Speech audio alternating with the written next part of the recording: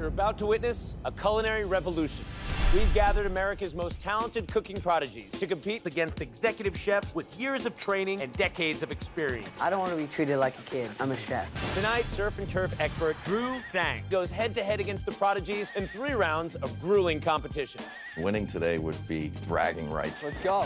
At stake, the one tool chefs can't live without their reputation. To not win, I would go crazy. Ooh. My worst fears came true. Chef Drew, you're going down. Chef Drew and the prodigies put it all on the line for bragging rights. I hope my experience will carry me through. It's the superstars of tomorrow This is coming down to the wire. against the titans of today. He doesn't have enough time to make it. It's a battle of epic proportions. Get it on the plate, guys. Nice job. And it all starts now on Man vs. Child Chef Showdown.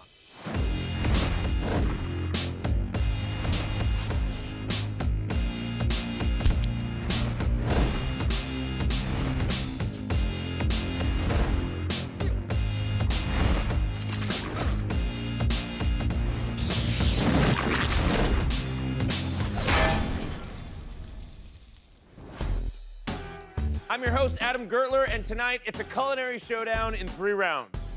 Our first judge is celebrity chef, cookbook author, and owner of the restaurant group Mike Isabella Concepts, Mike Isabella. Our next judge is a co-owner of Tarzan E. Jane and private chef to Hollywood's elite, Alia Zane. Tonight's competitor is a Florida man who's apprenticed under highly reputable chefs Norman Van Aken and Charlie Trotter. He's currently the executive chef of Snappers Waterfront Restaurant and Saloon. I've been an executive chef now for 20 years. I can cook anything Caribbean, Chinese, obviously French. I'm excited to see these kids in action, but I'm not gonna throw the fight just because they're kids. But I have the knife skills, a formal education, so I am definitely a force to be reckoned with. Please welcome Chef Drew Sang. Chef Drew walks through the door. He looks very tough. He's here to compete. Chef, welcome to the Man vs. Child Kitchen. Thank you.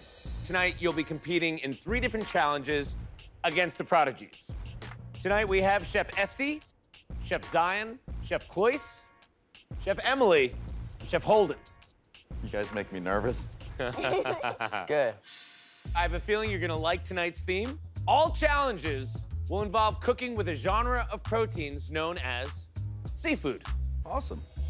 Chef Drew is a seafood master. He works with seafood for a living, which requires lots of technique, lots of skill, and I think he's gonna be a tough one to beat. You know the deal. You see food, you eat it. being a chef in the Florida Keys. That's the type of cuisine we have at Snappers. So I'm gonna bring something to the table today that they're gonna learn from. But yeah, I'm pumped. I'm pumped for this. Prodigies, who are you gonna pick for round one? We need to make sure that we're sending in somebody who is going to really give it their best. Somebody who uses seafood a lot and won't be intimidated by unknown ingredients. We choose Chef Esty. Chef Esty, when you're done doing the robot, please enter the kitchen. She may be eight years old, but don't underestimate her and her love of the gourmet. I love everything seafood, so I think I'll be great for the first round. Even though Chef Drew is an expert in seafood, I'm gonna crush him like a little ant. Please welcome Chef Esty.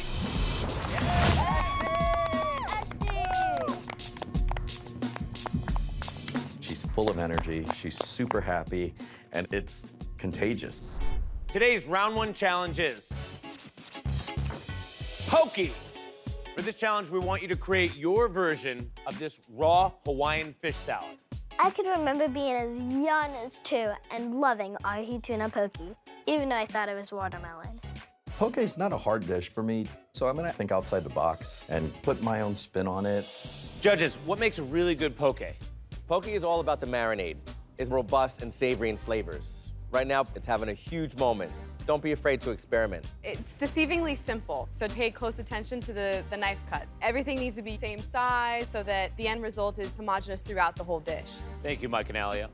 Okay, now, chefs, the judges will base their decision on creativity, presentation, adherence to the spirit of the challenge, and of course, taste. The winner of this challenge will get an advantage in round two. History has shown us that if you get the advantage in this round, your chances of keeping the advantage in the all-important winner takes all third and final round are much, much better. You have 30 minutes to prepare a poke that will wow the judges. Be bold and carpe diem. Your time starts now. Let's go, Esty!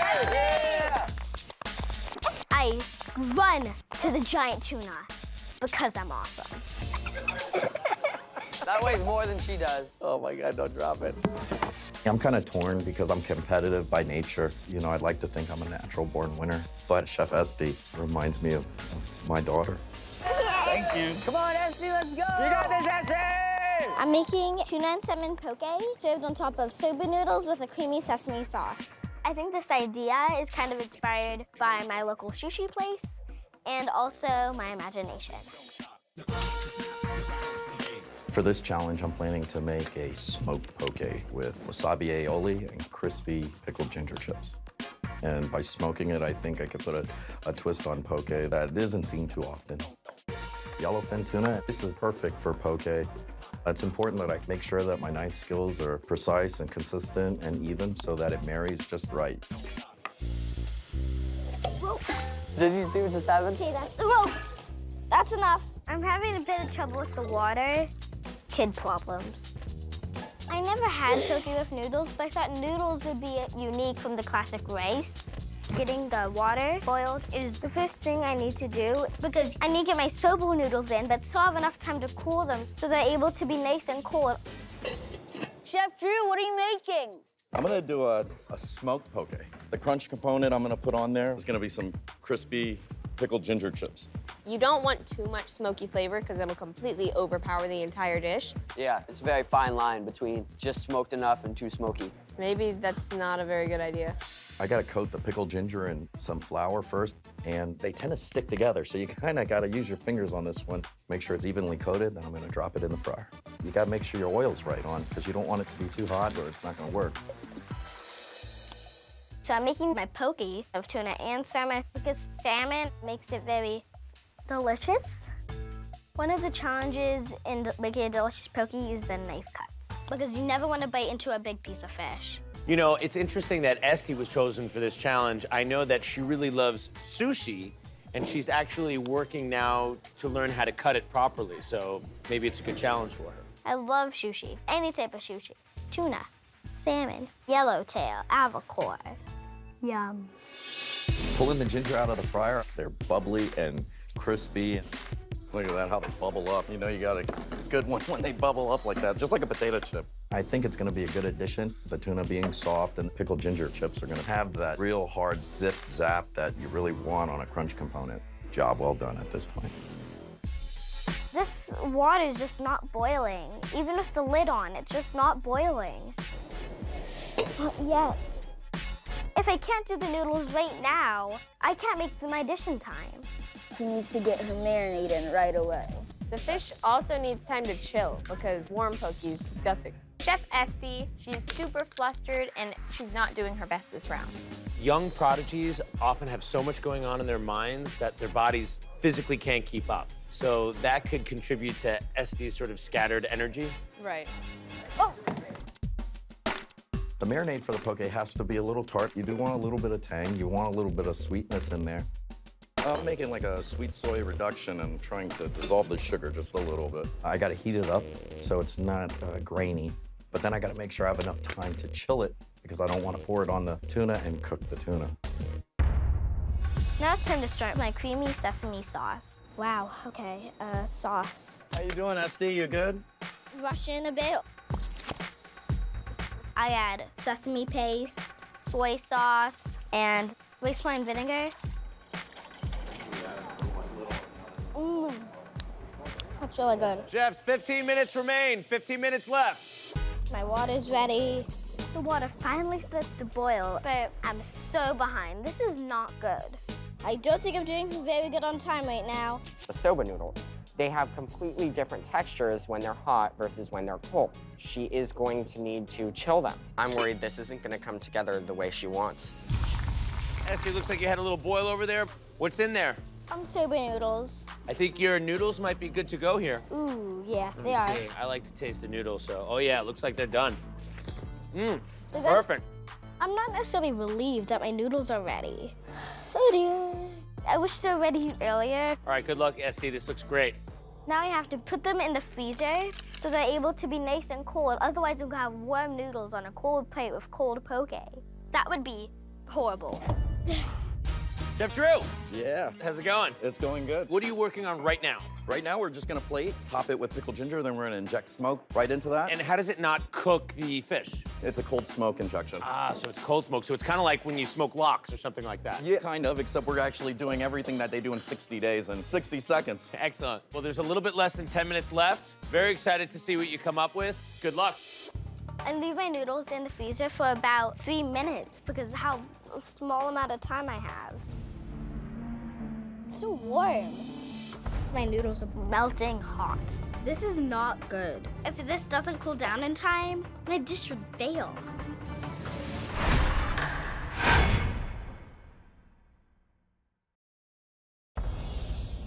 Five minutes. Five minutes. I leave my noodles in the freezer for about three minutes. It's so warm. My noodles are melting hot. I don't want to serve hot noodles on a cold plate. If this doesn't cool down in time, my dish would fail. Then aioli is basically mayonnaise. So here we go with mayonnaise. I'm gonna grab the wasabi. So I'm gonna make a wasabi aioli. I can whip it up by hand and get the consistency I want and the flavor I want. Now I'm in business. Two minutes remain. You should be plating. My warm noodles may be pretty bad, but I have to plate. I add my salmon and tuna, then some edamame, then I sprinkle some black sesame seeds. And last but not least, furikake is a Japanese rice seasoning. It's the kind of like little fish flakes. It gives it flavor you would get from salmon and tuna, but makes it stronger. And it's really good. At my restaurant, I have a couple dishes that we actually smoke. We send it to the table smoking, but now I gotta finish everything within the time limit. Let's go, Esty, you got this! Make it perfect. Five, four, three, two, one. It's banana time for Esty. Step away from the plates. Chef Esty now able to appreciate a banana with her newly acquired front teeth. I'm pretty confident in my dish. It's looking good. The smoke is super thick. I'd put it on the menu, I'd sell it, you know, I'd eat it, I'd order it. I'm happy with this. Okay, chefs, please bring your plates up to the judges. I did my best, but my noodles are very warm, so I'm worried they're gonna stick together. Chef Esty, please explain your dish. This is my tuna and salmon poke served on top of soba noodles with a creamy sesame sauce. Uh-oh. No, they're gonna ding her on that because they're all stuck together. My noodles are all stuck together. That's no good. Chef Esty, on your dish, I really like the creamy sauce, sesame seeds, and I also liked the flavor of the noodles themselves. Uh, really balanced well and made it taste delicious. But unfortunately, I think as a whole, if you had more finesse, the dish wouldn't be as clunky as it is. The noodles themselves wouldn't be stuck together. You need to pay more attention to the details that you're doing. Esty, I like the idea of you combining the salmon with the tuna. So you get two different flavors of fish, two different textures of fish. Uh, and I also really like your noodle salad. Thank you. Overall, you know, the dish had flaws throughout it. Uh, some of the noodles were sticking together, the way the fish were cut. I mean, I had big chunks of salmon like this. Chewing on raw fish, when you get big chunks like that, is not always a pleasant feeling in your mouth. You want everything to be balanced and to be even. I've seen better food from you. I want better food from you. This is not good. I agree with my knife cuts being big on the fish. I was stressed in the kitchen, and maybe it was a mistake to go that far out of the box. Chef Drew, please explain your dish. Uh, what I prepared for you today is a smoked poke with crispy ginger chips. Some manual labor involved. That's cool. That actually is awesome.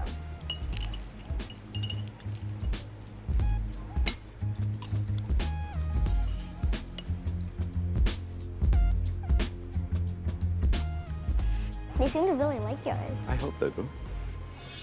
Chef Drew, I think that everything uh, married well. You had a really nice marinade for the fish itself. I liked the, the texture of the seaweed on the bottom. I thought that that added another layer of flavor to your dish. What didn't work for me is uh, the actual temperature of the fish. I know that you smoked it, so it added a, a, slight bit of heat to it. And I think that if you had a nice cold fish, it would have been uh, a little bit less overpowering. Chef Drew, I really enjoyed your dish. I like the smoke when you open it up at the table. You can smell it, you can see it, you're getting the people involved. With that being said, I really didn't enjoy the size of the tempura and the ginger. I had to like kind of move that out of the way or pull it out, and I couldn't really enjoy everything together, so it was a little bit harder for me to eat. Smaller cuts would have made it a better dish. I definitely agree with the criticism given me. I should have been colder. I should have made it where they could actually have every component on that fork. I wasn't thinking. You gave us two spectacular dishes. Please give us a moment to discuss. His dish looks so much more like the thing you'll find in a restaurant, and mine looks like a thing where you find in like a small diner. But it tasted good, so I could still win on flavor. Wow, this is really tense. Yeah, I'm pretty sure I won this round with my dish alone and the experience I put into it. But, you know, who all right, Mike, Alia, who is the winner of round one? The winner is... Cross your fingers, cross your legs, cross your eyes.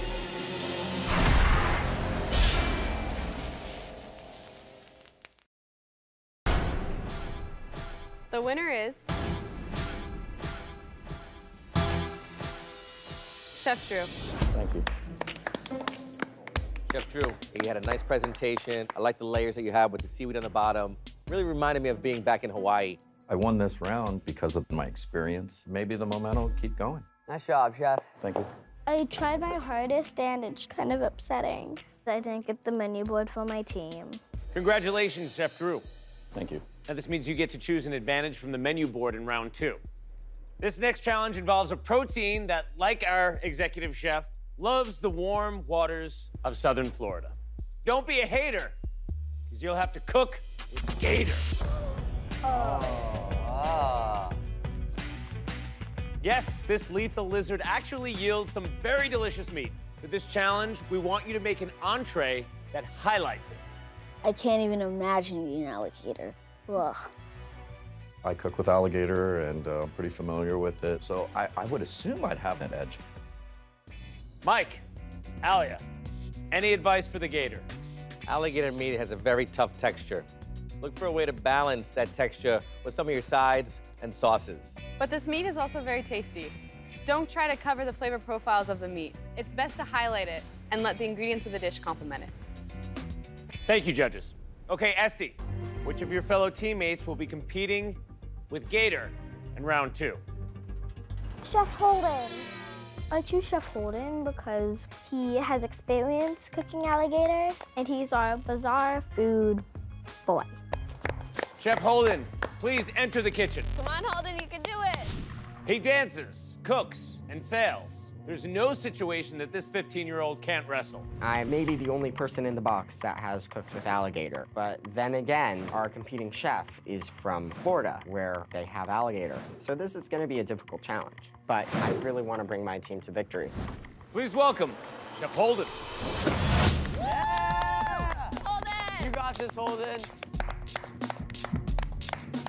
Chef Holden is very serious, so I know I'm in for a challenge. This round, the menu items are if it pleases the jury, make your opponent prepare a snack for the prodigies. One-stop shop. Your opponent will only be allowed one trip to the pantry. Station vacation. Force your opponent to stop working at any point for five minutes. Please pick the first one. Snack, snack. I think you should make a snack. Yes! Yes! I thought that would be a good one because now he's got to dedicate his time to appease the many chefs. Chef Holden, today you'll be making a fine assortment of finger foods for our prodigies. That could be bad because you lose time, but that's great for us. I'm hungry. Yeah, I'm hungry too. okay, chefs, you have 45 minutes to make a gator-based entree, and your time starts now. Yeah, let's go, Holden! Come on! Gator has a distinct taste. It's kind of swampy, kind of muddy tasting. I'm gonna use the leg because it has more gator flavor. All right. For this round, I'm gonna make a uh, down south fried buffalo gator salad. It's a little scary going up against a chef that has alligator on his menu. This is gonna be a tough round. But my strategy is to be more creative. I'm gonna make an alligator piccata with a creamy polenta. Piccata is a very basic Italian sauce. Doing this should give it a creative twist, and creativity is what I'm all about. So I get a carton of chicken stock and just get that boiling. I'm going for a very typical, like, southern preparation. I add in the polenta at certain increments and make sure to keep stirring it because polenta does burn extremely easily. I think that we should get like chocolate and peanut butter dipped bananas. This disadvantage sort of makes us turn on our teammate because we want food. But we still want Holden to win. Yeah. Well, I know, but it'd be cool if he won and we got a really nice snack. That'd be double points. Yeah. Chef Drew, what kind of cheese is that? This right here is just a little pecorino. I'm gonna make little uh, little cheese twirls with them. Okay. You know, it's that real good crispy stuff on the edge of the pizza or the grilled cheese sandwich that you like. Need to get started on the snack. I have to please the jury, but I don't want to waste too much time, so I look in the freezer. There it is. Chicken strips, mozzarella sticks, french fries, and tater tots. We're getting frozen stuff, guys. No matter if it's frozen or not, I'm gonna eat it all. I'm gonna marinate the gator with a little bit of Tabasco, salt and pepper, and a little olive oil. We're going for that buffalo feel. So I'm gonna make a basic blue cheese dressing. Uh, use the blue cheese, buttermilk, a little lemon juice, and Tabasco goes in it. Blend it up, make sure that it's uh, pretty smooth. I don't want it too clumpy. So I get all the frozen snacks in the fryer and just let them sit. I really can't focus on this. I need to start my alligator. Here comes the tenderizing. Alligator meat is really tough, so I just have to pound it out with full anger. And he's angry today. Good thing he's taking it out on the alligator. Right? I'm a little bit afraid. Uh, little known fact that prodigies actually enjoy snacks. Little known fact, Mike Isabella enjoys lots of snacks. And another little known fact, Alia likes snacks. All right, Holden, how's it going? Fine, how are you doing? That was a pretty bad disadvantage, huh? It seems like you're making like a whole appetizer sampler platter for the prodigies. And nicely presented, too. Thank you, Holden. Enjoy. These are yummy. How do you feel about time? You have 20 minutes left. Feel fine about time. I'm gonna start on my alligator probably in two minutes. Great. All right, good luck, man. I can't wait to see how it comes out. Thank you. Chef Drew, you didn't get any chicken nuggets over here. I didn't. I guess I'm chopped liver. So tell me what's going on. What Got do a little make? bit of baby spinach. We're gonna make a nice buffalo gator salad. Buffalo Gator sounds like an unholy hybrid that might be on like a sci-fi movie of the week or something. I'll show you. I'm gonna swim fry it or flash fry them. Okay. You're hoping that it's gonna be crunchy and tender. Crunchy, tender. It's gonna wilt the salad just a little bit. Good luck, Chef. Thank you. All right, let's try this. 10 minutes remain. 10 minutes in the round. I'm working on getting started on the sauce that's gonna go with the gator. I get started on piccata sauce. I saute some shallot and garlic. I add in my capers as well as my preserved lemons. Then I put the alligator in and baste it. I realized that picking a salad probably wasn't the best idea because I get everything done with too much time to spare. I'm hoping that by putting the gator on top, that it shines enough to get a win. But I'm worried that it might not be enough.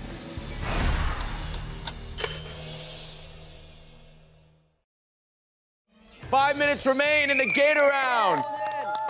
I realized that picking a salad probably wasn't the best idea because I get everything done with too much time to spare. I should have thought of that earlier. Now I feel like I've wasted my time. All that matters right now is getting everything on the plate. I have to make sure that my dish is better than Chef Drew's. Coming up on 30 seconds. 30 seconds left. Plating now. This is getting down to the wire. You got this, Holden. Five, four, Three, two, one. Stop cooking. Step away from the gator. Oh, Chef Holden definitely turned it up and tightened the screws, and I feel the pressure after seeing his dish. It really makes me want to eat it. I'm nervous. Me too. My dish looks great. Looks like a winning dish. I'm pretty sure I can get an advantage in the next round for the prodigies. Chef Holden, please present your dish. Here I have made for you an alligator piccata with creamy pecorino polenta. I hope they like it. Chef Mike is Italian, so if he likes my sauce, it's good.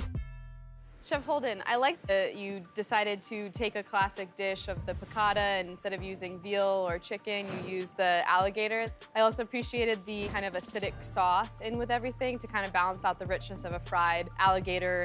But the polenta was too thick. You gotta measure out the right amount of stock because if you start off with a right amount, it's gonna hold its shape a little bit better. It's gonna stay more creamy than if you were to like start with the wrong amount of stock and then add it. It's gonna just keep acting like a sponge. Chef Holden, I really enjoyed this dish today. You know, I love a piccata. I, obviously, I grew up in an Italian household. I really love the pan sauce that you went with there. All that came together. I got two words for you. Finishing salt. I watch you season. You pick up a little bit and you do a little pinch. I've been eating for a living before you were born. My palate accepts salt. I want your food seasoned better. Period. Yeah. If I lose because of salt, that'd be terrible. Chef Drew, please explain your dish. Uh, it's just a good old down south fried alligator salad. Looks delicious. I hope the judges like the fun approach that I took to this dish. I don't want to lose momentum. Chef Drew, what I really enjoyed about your dish was the actual gator itself. I thought it had a nice texture and it had a nice crispy crust on the outside, and the actual meat itself was nice and tender. Thank you. But like with Chef Holden, there was not enough salt. And also, I think that you could have done a lot more in that time allotted and uh, really made the, the gator the star. Chef Drew, I like the cut of the gator. I like cut it small, cut it in strips, very easy to eat. It was also very tender. And I also thought your dish was very colorful. You know, I thought the blue cheese was very overwhelming. When I took the first bite of the salad, I tasted the blue cheese. I didn't really taste anything else. Gator is a very mild thing. This is a dish that honestly, both of us know from chef to chef, you could have made this in 15 minutes. That's not what we want here, and that's not what you want to showcase as a chef. So please step it up for the next rounds. Okay, chef.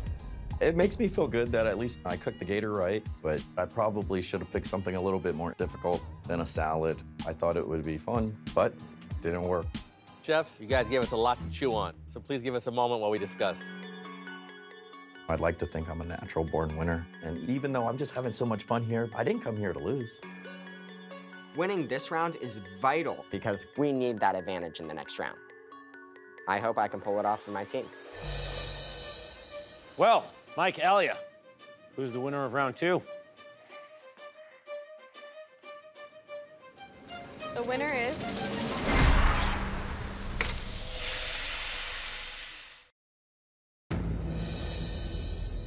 The winner is Chef Holden. Even though I went in with a disadvantage, I turned it around. Now I'm starting to think we can win this. Chef Holden, it screamed gator entree, and that was the main thing on the plate was the gator itself. Chef Drew, this is more like a salad. Didn't really feel like a hearty entree. I understand. His dish looked great, and to make polenta and everything else, I mean, how cool is that? But round three's winner takes all, and I'm gonna turn it up a little. Congratulations, Chef Holden. Your team wins an advantage going into the winner takes all third and final round to be presented and judged by our master chef in a blind taste test. As usual, our third round is a trio, meaning you will have to compose three dishes. Our special guest today is a culinary giant. She's worked as the chef de cuisine under world-renowned chef Eric Ripert at 10 Arts and sous chef at his three Michelin-starred restaurant, Le Bernardin. She will partner with our very own Mike Isabella on a new French Mediterranean seafood concept called Requin. Please welcome Chef Jen Carroll. Chef Jen's a pioneer in this industry. It's important that I make something that the difficulty level is that of somebody of her caliber. So guys, this being a seafood-themed challenge, I thought the best thing to do would be a trio of shellfish. Yeah. Wow. Oh. Chefs, some ways it seems like a simple challenge to make three shellfish dishes, but there's so much you can do with these ingredients. It's almost more difficult deciding on your approach. Working with shellfish is tough. You really got to know what you're doing. So I hope my experience will carry me through. Thank you, Chef Carroll, for your help in presenting round three. We will call you back as soon as our chefs have completed their cook. Thank you. Good luck, chefs. It's time now for the big question. Holden, which one of your teammates is going to bring it home for the Prodigies in round three? I choose Chef Cloyce. Chef Cloyce. Cloyce is a perfect choice for this round because one of his favorite things to cook is a seared diver scallop. He's 14 years old, but don't let his charisma fool you. When it comes to competition, he's a killer. I've got lots of experience with shellfish. In culinary school, we've been working a lot with shellfish. We've been learning the classical techniques, the different preparations. There's tons of stuff you can do with it. I think I'll be able to execute the challenge really well. Please welcome Chef Cloyce. You can do it, Cloyce! Nice to meet you. I've seen Chef Cloyce in action, and he's a force to be reckoned with. This round, the menu items are Check your work. Your opponent cannot start cooking until a set of mise en place tasks are completed to judge Mike Isabella's satisfaction. Prime time. Take 10 minutes off your opponent's cook time. Eesh. Ill-equipped. Rob your opponent of essential cooking equipment. Chef Cloyce, which item would you like to choose from the menu board for round three? Let's go prime time. You're gonna go prime time. We're gonna take 10 minutes off your opponent's cook time, which means in this one hour round, you're only gonna have 50 minutes to complete everything. I'm sorry. It's okay. Okay, chefs, it all comes down to this. You have one hour to create an inspired shellfish trio and truly impress Chef Jen Carroll. And don't you dare clam up. Chef Cloyce, your time starts now. Yeah! We got this, Chef Cloyce! Let's go some of these. Shrimp, too. So Chef Jen Carroll is opening up a seafood restaurant with Chef Mike Isabella. She's obviously got skill in the seafood area. Everything's got to be perfect. Let's go. Knowing Chef Drew's background, he knows everything about seafood. We saw him make smoked poke round one. Who does that? He's going to be a tough one to beat. I'm going to be doing a seared diver scallop with creamed corn, a seafood chowder, and my final dish is a deconstructed oyster po' boy. A what a boy? Po' boy. A po' boy. What's a po' boy? It's a sandwich. Oh, he's gonna shuck the oysters. Shuck, shuck, shuck. You have to have a nice point on your oyster knife, and you just gotta push as hard as you can. Come on. There's a high likelihood that I could put this through my hand and then get some terrible disease and die. There we go. Chef Drew, you have five minutes until you can start cooking. That's five minutes gone in this round. Thank you. How's it going? It's going good. I How's still your, got uh, time to kill, so I got good knife skills. I'm seeing how he's holding his knife. He's holding it like a chef. He's holding it like a boss. It's important to keep your fingers in this business. If I get out of this business with all my fingers, then it's a win situation. yes, it is. He makes me nervous, uh, especially having only 50 minutes to pull off a win. My favorite chowder is New England clam chowder, just because you can't beat the classics. I start to render out four slices of smoked bacon. The smokiness is gonna really complement my seafood. Then I saute onion and celery. I'm also going to be serving my clams in the shell. It's gonna make it very obvious that there's seafood inside of my chowder. Chef Drew, start revving that engine. Get ready. Get ready! Your time starts now. I'm thinking if you want to win this, you're going to have to really show your experience. You're going to have to bring it all, and I could do that. I've got enough years under my belt. So what you planning on making? I know I want to go with a nice uh, classic risotto. Risotto. My first dish is going to be a classic lobster risotto topped with a butter poached lobster claw. My second dish is steamed clams with a sriracha butter and uh, kimchi tempura garnish. My third dish is going to be a pancetta wrapped sea scallop atop eggplant ragu, all of which I've cooked before many times. I start off with the risotto. I gotta make sure I caramelize it. I'm gonna use a little bit of the seafood broth. And you probably should have the stock hot as well, but I'm cutting corners because I'm 10 minutes behind. Next, I'm gonna make an eggplant ragu. It's gonna be the foundation where the scallop sits on. You gotta start by uh, sweating the eggplant with a little bit of salt. We're gonna start it in the pan. We're gonna finish it in the oven. Chef Cloyce, what are you cooking there? Some croutons. Since I'm making a deconstructed sandwich, I need to add some bread somewhere. You know what I like about where Cloyce is going? He's gonna do classic dishes and put his touches on it. You know, Cloyce just won Student of the Year at his culinary conservatory, and one of the highlights they said of his performance was that he was a team player. He seems to have a lot of honor. He's like a, a, a young cooking knight. I want to give him a goodbye pet before he dies. I'm gonna use the entire lobster on this dish, but I'm gonna cook them in different ways. So I separate the claws because I wanna butter poach the claws, and then I steam the tail and head because that's gonna go into the risotto, and then the butter poached claw is gonna go right on top as a garnish. Sorry, buddy. Chef Cloyce, how's it going? It's going pretty well. How's it going with you? Tell me what you're making. I am gonna do a chowder, This is gonna be a clam chowder? seafood chowder, shrimp, bay scallop, and clam, Okay. What are you dredging the oysters in? Flour and cornmeal, That makes me think that you're doing Louisiana proud. a little bit. Good luck, Cloyce. Thanks. Okay, chef, how are you? Good. Tell me the dishes you're making. I'm gonna do a lobster risotto. Is the rice for that? Yes, it is. You've stopped this here because you're gonna, you need to do it. We've got 25 minutes. I just wanted to stop the risotto from cooking on the stove where it might get a little mushy and try to thin it out on a tray to hopefully let it cool. Great.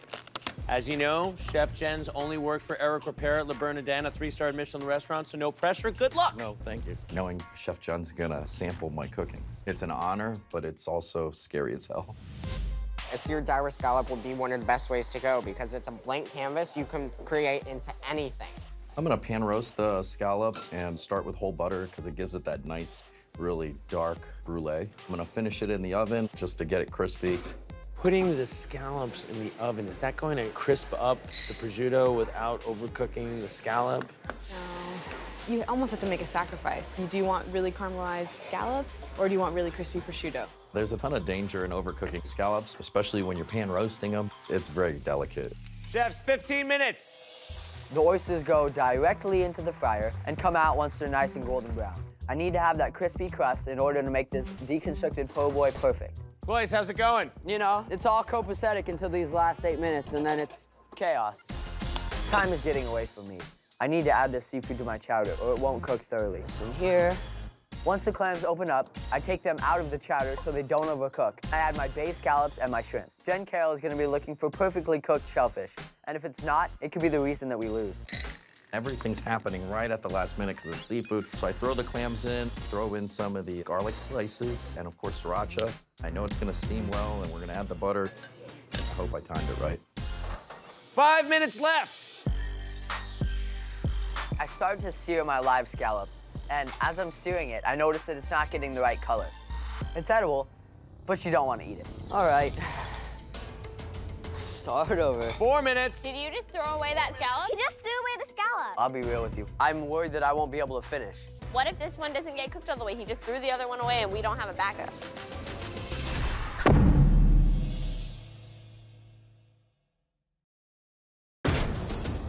You don't get an even sear.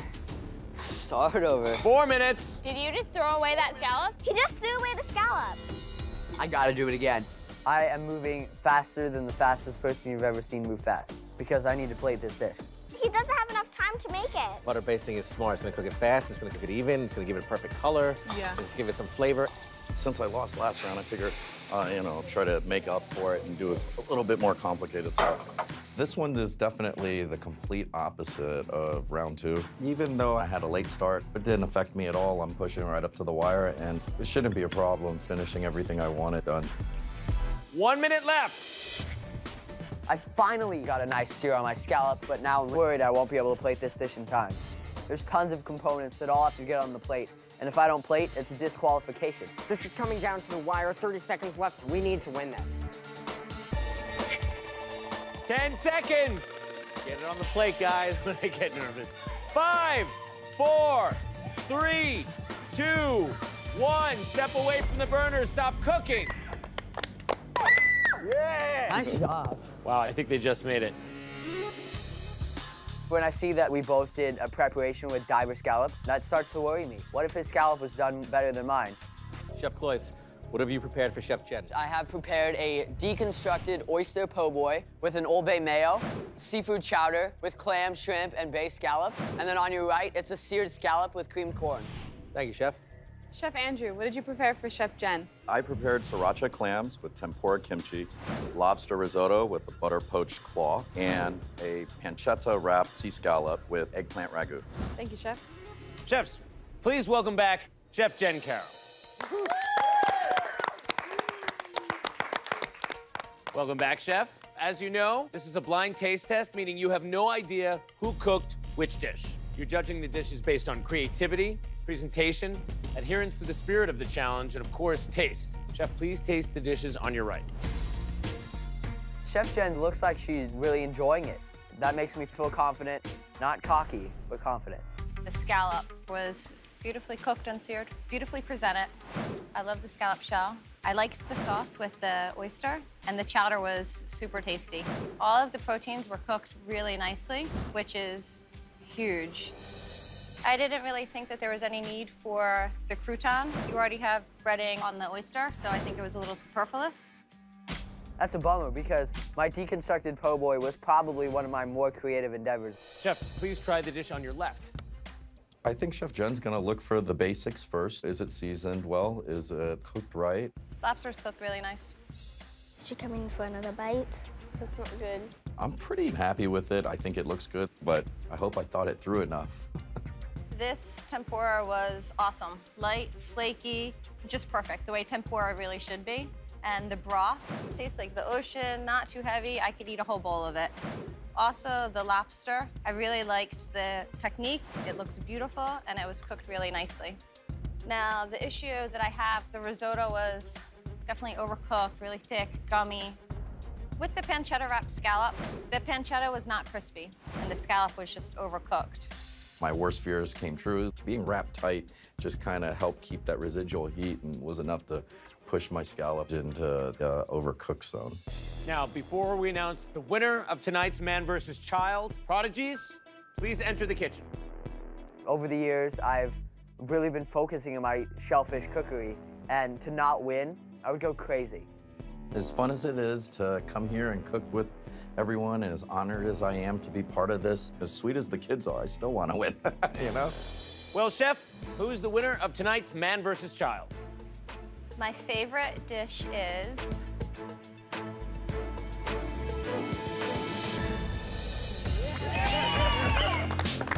Congratulations, Prodigies. I'm ecstatic. We were able to beat somebody who has so much expertise in this area. What drew you to that dish? It was the scallop. It is just beautifully seared and beautifully cooked. You can come cook seafood at my restaurant any day. Thank you. That's pretty cool. Maybe I should get into seafood. Thank you very much, Chef Jen. Congratulations again, Prodigies, and thank you, Chef Drew, for competing today, and we'll see you next time on Man vs. Child. Yeah! Good job. Killed it. There's no bad feelings at all. It was just an honor to see these kids do their thing. You guys are so awesome. You did such a good job. I would totally hire every single one of them. In fact, they'd probably replace me. I'm in awe with all of them.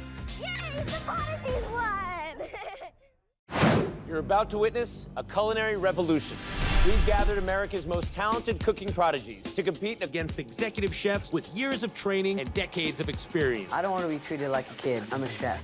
Tonight, fried chicken heavyweight Johnny Zone goes head to head against the prodigies in three rounds of grueling competition. I want to sweep the rounds. I want to hit them strong. At stake, the one tool chefs can't live without their reputation. I'm very serious about my cooking career. I got straight up hustled. Sorry, Chef Johnny. We're gonna win. Chef Johnny and the prodigies put it all on the line for bragging rights. The experience that I have is going to give me an edge over these kids. It's the superstars of tomorrow Oh, my heart's racing. against the titans of today. The stress is real, guys. It's a battle of epic proportions. Oh my God. And it all starts now on Man vs. Child Chef Showdown.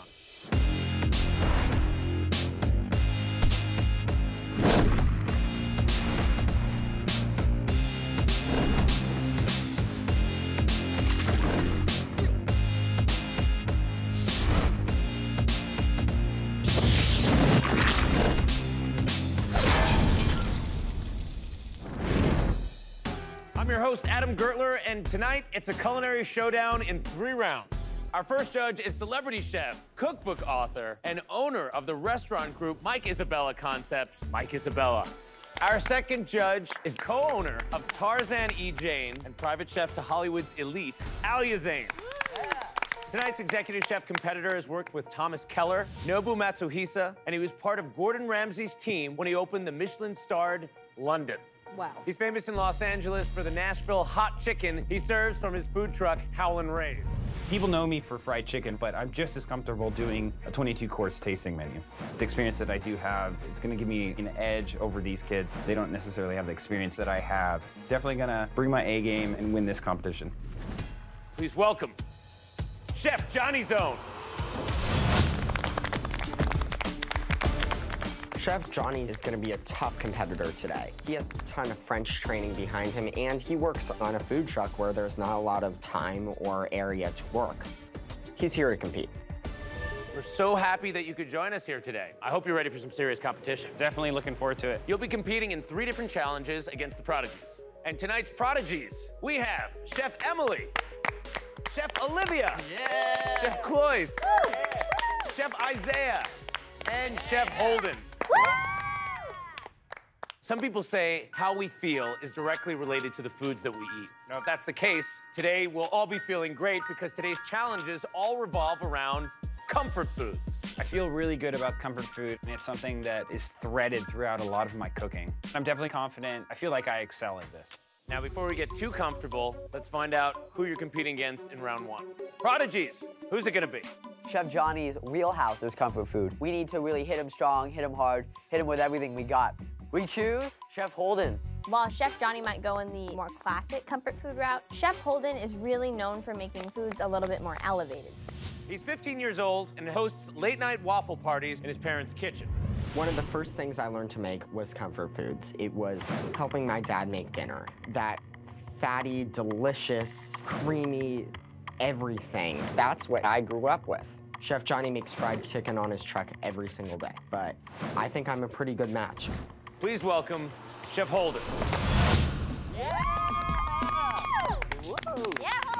Chef Holden looks a bit older than some of the other kids up there, so I think they're starting with one of the heavy hitters. I'm sure when I said tonight's theme is comfort food, all of us thought of this dish. Macaroni and cheese. Oh, cheesy. Mac and cheese is delicious. Everybody loves cheese, even mice. Mac and cheese, great for me. Every single time we have friends or family over, I make a baked mac and cheese. Everyone loves it. It's always oohs, ahs. Judges, any advice? I love macaroni and cheese. I like it nice and oozy, creamy. So this is a perfect way for you guys to really show your techniques. One thing that I would like to see today, take the classic and do a little riff on it, elevate it. The possibilities and the flavor combinations you can use are endless. The judges will base their decision on creativity, presentation, adherence to the spirit of the challenge, and of course, taste. Furthermore, the judges will award the winner of this challenge with an advantage from the menu board for the next round. Whoever wins an advantage in this round has an even better chance of keeping that advantage going into the final winner-take-all third round, blind tasted by a master chef. I want to get in my team the menu board. I want to set the tone, get us our first win for the day. All right, chefs, you have 30 minutes to wow the judges with your version of a mac and cheese. And your time starts now.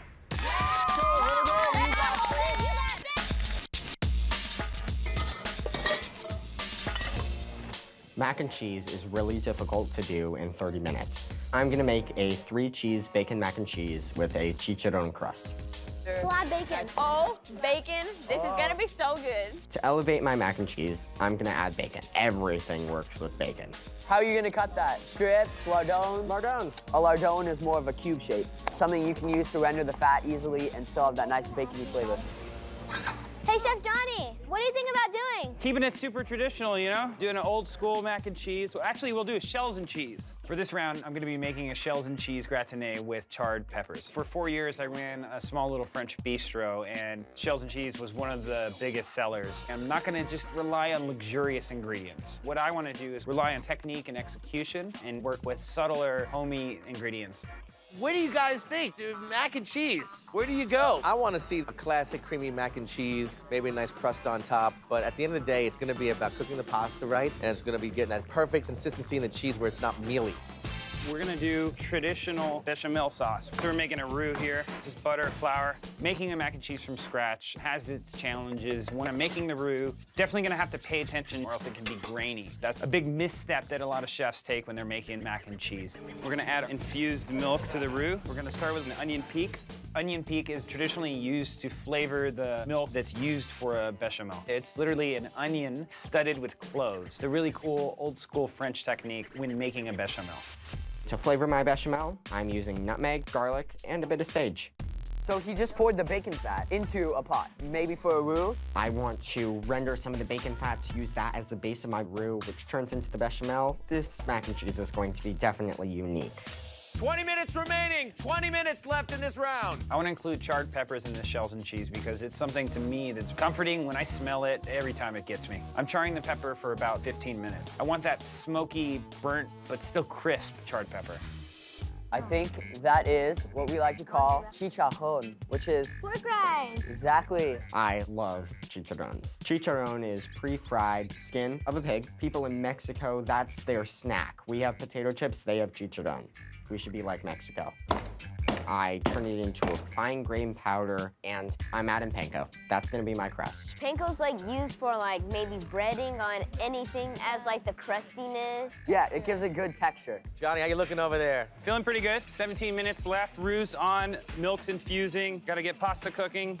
I thought the water would come up to a boil a lot faster. I think I made a mistake in grabbing a large pot and putting a lot of water in it. If I don't have boiling water for the pasta, I'm gonna have some big problems. Chefs, 15 minutes left. 15 minutes remain. He's adding the cream mixture. Holden, what did you put into the cream? Can't answer right now. I'm kind of behind on time. All right, that's not good, but okay. I have so much to do. I'm just getting distracted. I need to make sure that this sauce is perfect. As Chef Holden's mixing his bechamel, I notice he's not whisking hard enough. He needs to make sure that he gets out all of the clumps of flour, or his bechamel will taste like flour and ultimately be gritty. Now it's time to add the roux to thicken the infused milk. Sauce is such an important component to mac and cheese. There's so many things that can go wrong. So I'm really taking my time. Now that I've boiling pasta water, I start adding the pasta. I do not want to serve undercooked pasta, but I'm feeling good moving forward. He's got 11 minutes and he hasn't even started his pasta yet. It's not boiling. I need this to boil like within the next minute. How high is the heat? All the way. Something's wrong. I need that water to boil or I can't cook my pasta. Chef Holden, how's it going? Um, I'm a bit behind on time, but pretty good so far. So you're going with an orecchiette, ear-shaped pastas? Exactly. Once it gets to a boil, I need to put the pasta in, and at this point, I'm not gonna have any time because that needs to cook for seven minutes. Holden, what if you took a little bit of the water out? You only need to cover the orecchiette that you're gonna use. Get rid of half of it. Get it back on, cover it, blast it. I think that that will boil right away, but I'm worried his pasta won't cook thoroughly. All right, good luck, pal. This is the first round. I really need to win this advantage, and I can't let my team down. So I just put it into the pot and hope that it works. Chef Zone. So you're going very classic now. What kind of cheese is going in this? So we're doing a little bit of Gruyere, mozzarella kind of for uh, stringiness, and then we're gonna do Parm. So it's like three kind of layers of cheese. Now, are you going with any kind of crust or topping, or is it going to be an all creamy? We're gonna gratin it with uh, a torch. Okay. So just straight torch on. Okay, now we have just about eight minutes remaining. You have noodles that still need to finish cooking. Yep. So time is going to definitely be a factor there. Good luck. Thank you.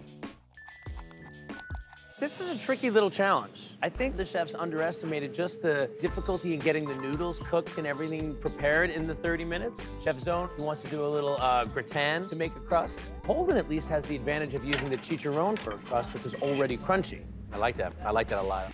For my mac and cheese, I'm gonna use a three cheese blend. Mozzarella, cheddar, and Gruyere. Chef Holden seems a little flustered today, I'll be honest. Holden, what you doing? I'm accidentally turning the pasta off. Don't do that. That's sort of a crucial element. This is not my best round. It's nowhere near. The jury box is distracting me, and I just need to finish. Chef Holden doesn't look like he has a clear vision of what he's gonna do. He's really frantic. Five minutes remain in this mac and cheese challenge. Pasta's about to boil over. It's, o- it's boiling over. Don't turn the heat down, just take the lid off for a second. Oh my God, he just turned the water off. Don't do that. I'm just completely stressed out about this. We really need that advantage in the next round, and I don't think we're gonna get it.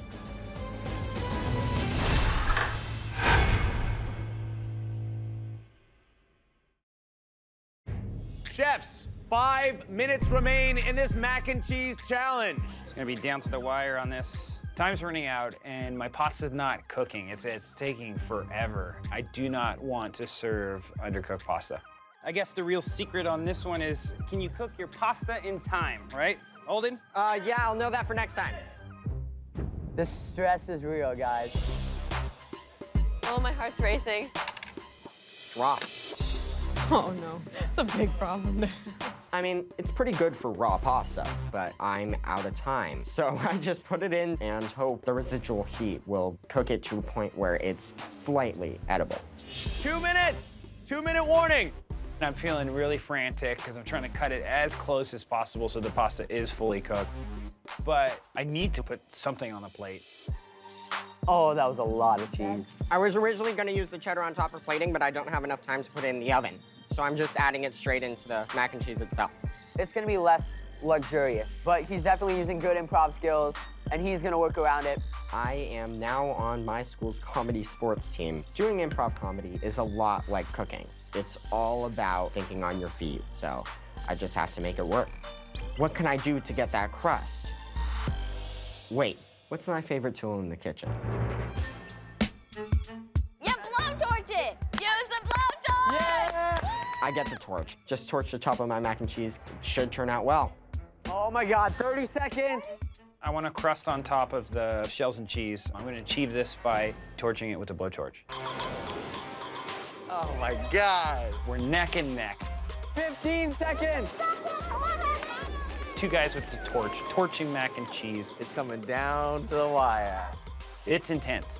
Three, two, one. Step away from the dishes. Step away from the burners. Extinguish Yeah. your torches. Walk away. Nice job, Holden. This was in no way an easy round. I pulled out something that looks pretty good to me, but pasta should be al dente, and mine is like snail shells. So, yeah. Look down at my dish. It's not exactly what I was going for, but I know the flavor's there, so who knows what's gonna happen. When I look at Chef Holden's dish, I'm thinking, holy crap. I'm really impressed with this kid. His is like, it's golden, it's got little chicharron on it. I definitely think Chef Holden's looks way better than mine. Chef Holden, please explain your dish. Here I have made for you a three cheese bacon macaroni and cheese with a chicharron crust. The chomping on it's a little hard. Chef Holden, your dish, I really like the flavor of it. The touches that you put on top with the chicharron echo that bacon flavor you had in the bechamel. And the cheeses that you chose balanced with each other. The flavors worked and the textures worked. There were some significant problems with the dish. The biggest one was the sauce itself. You didn't properly cook out the flour, so it was too gritty. Chef Holden, you had a nice presentation, beautiful crust on top. It reminded me of going to a steakhouse and ordering a side of mac and cheese with my steak. I like the smokiness of the bacon. I like the chicharrones. It definitely had some fun stuff going on. Pasta was raw. It was undercooked. It's mac and cheese. The focal point should be macaroni. That did not happen today. I want you tasting more, and I want you focused. It's not a game, it's a competition. You're here to win. My sauce was gritty, and my pasta was raw. Next time when I make mac and cheese, I'm going to make sure I can do it properly. Chef Johnny, please explain your dish. We have a shells and cheese gratinée laced with charred peppers. So much pressure. Chef Johnny, I really liked your sauce. It was very velvety, nice and cheesy, and I really enjoyed the way you roasted your peppers. And the very little delicate touch of the gratin on top helped bring that smokiness out of the peppers. Almost reminded me of like a hot queso. Really enjoyed that. You also had issues with your dish. I know you struggled cooking the pasta. It was a little bit too al dente for me, and you didn't put enough pasta into your cheese. I wanted a nice bowl of macaroni. Pasta, I didn't get that. I only got a couple shells on the bottom. If I went out to eat and ordered that, I would have asked where the other half of my dish was, or I would have sent it back. Ouch. Chef Johnny, I really like the flavor profile that you had in the dish. I liked the different cheeses you chose. The gratin on top was really nice because it added a nice saltiness to the dish. And I too enjoyed the peppers. What was lacking in the dish to me was a lack of seasoning. When I just took one bite of the dish, it fell a little bit flat. But when I specifically pulled out the little bit of bell pepper, the pasta, a little bit of the sauce, and the gratinade on top, it really worked. But I kind of had to make my own bites rather than just digging into it to get the right seasonings and textures. I definitely agree with some of these criticisms. The ratio was a little bit off. There wasn't enough shells and cheese in the bowl. I really want to win this first round. I want to come out swinging. I want to set the pace for the rest of the competition. Well, chefs, please give us a moment to discuss your dishes. We both should have cooked our pasta more, but Chef Johnny's dish. It's not a lot of mac and cheese. It's maybe four bites. Well, mine is a big plate of mac and cheese. I think I can win this. Chef Holden got criticism for the grittiness of his sauce, and that's one thing that I know that I properly executed, and I feel really good about that. Mike, Alia, who's the winner of round one? The winner is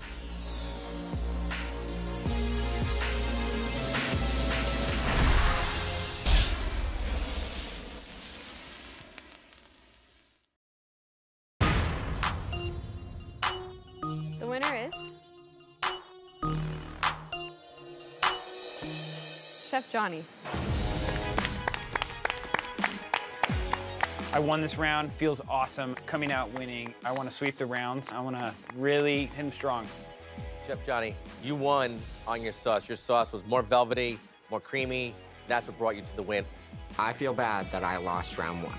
And now the next prodigy is going in with a disadvantage. Congratulations, Chef. This means you get to choose an advantage from the menu board for round two. Let's hope he picks an advantage for himself. And speaking of round two, when I think about my favorite comfort foods, I think Mama Gertler knew best. Her matzo ball soup is a thing to behold. For this challenge, we want you to bring mom's home cooking to the next level and elevate a homemade dish. Mama's home cooking really plays into the comfort food theme. Having a dish that's prepared by your mother, it makes you feel fuzzy inside.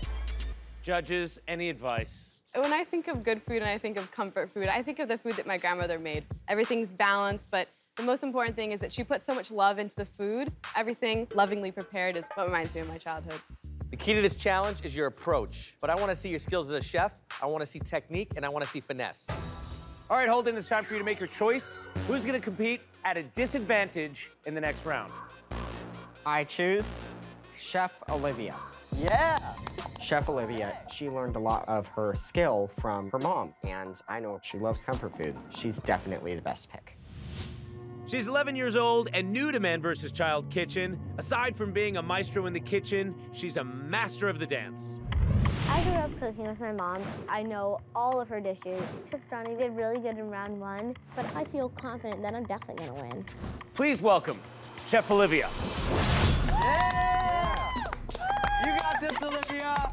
I'm really surprised that this little teensy tiny kid can cook. I don't want to underestimate her because I know that she's probably got some skills up those little sleeves. In this round, the menu items are takeaway. Rob your opponent of a key ingredient. Lifeline. You can ask a judge to provide feedback on one of the components of your dish. Or wild card. Take a chance. You could win a massive advantage or be hampered with a disadvantage. I think we're gonna go with takeaway. Takeaway. Yeah. You will be able to rob your opponent of a key ingredient. To that adorable face, you're gonna be able to do that. Takeaway is very serious. If he takes away the ingredient that I need the most, I have to find another way to come up with something. Okay, chefs, there you have it. You have 45 minutes to take a mama's favorite and elevate it. Your time starts now. I have to be really clever if I want to beat Chef Johnny's own. Chef Johnny can't take away my ingredient that I've already used, so I have to use all my ingredients as fast as I can. After watching the prodigies in round one, I'm definitely not going to be going easy on them. We're going to do some fried chicken with some basically like braised greens. I'm making fried chicken this round. Um, it's definitely going to be in my wheelhouse. I mean, I, I serve 200 to 300 pieces a day. I love meatloaf. My mom cooks it a lot. And I mean, why won't the judges like it? I'm gonna make a mini meatloaf with some boursin cheese, mashed potatoes, and roasted vegetable gravy. A perfect meatloaf has to be really moist. And also, you have to use some sort of binder. And in this case, she's using breadcrumbs and egg yolk. How are you gonna make your meatloaf different? I used um, pork, veal, and beef. Okay, it's gonna add a more, you know, rich, almost fall apart texture that you want in a good meatloaf. Chef Johnny, what kind of greens are you going with? We're gonna work with kale here, and we're gonna render out bacon fat and then cook the kale down in bacon fat. The main inspiration on this dish is my mom's greens. Normally I'd use collard greens or string beans for this dish, but I'm using kale because it cooks really quickly. This is very low country style of cooking these greens. In this braise, I really want some piggy porcine flavor, some tomato flavor, some salinity from the salted pork. Thank you for the greens. I only have 45 minutes, so I have to make a small meatloaf so it'll cook all the way. It's like a little chubby meatloaf. You see how Olivia is just moving? She's trying to prevent Chef Johnny from using that takeaway. Olivia is super competitive. She's the only girl on her Little League team for two years. I mean, I'm familiar with competing, so I think I can handle takeaway. So let's take away something. What, what do we, I'm already peeling my You potatoes. prepped everything? Oh, you're smart. You are on top of it. Let's take away the breadcrumbs. It's awesome because I already used the breadcrumbs in my meatloaf. Works for me. He's just clearing my station for me. They're all giggly googly. Turns out I got straight up hustled. Thank you, Chef Johnny. See that face? You can't trust that charming little face. She was very smart for moving very fast in the beginning. Now that my potatoes are on the stove and they're getting to a boil, I have to start doing my gravy. I'm gonna use some carrots, some celery, even some mushrooms, and I'm gonna let those saute a little bit. And once those are soft, I add some Marsala wine. Flambe! Nice. These these prodigies are bringing bringing the heat. Uh, we're building our batter here. The texture I'm looking for on this chicken is shattered glass. I'm looking for it to be crispy, crunchy. I want it to shatter. I want it to crunch. I'm gonna elevate it by uh, real proper execution. It's flour, milk, flour. Hope he seasons this chicken. Olivia, how's it going over here? I'm doing great. Is that Boursin? Yes.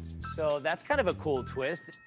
Boursin cheese is delicious. It's like a light creamy cheese. It's gonna be good. Putting a lot of cheese in there.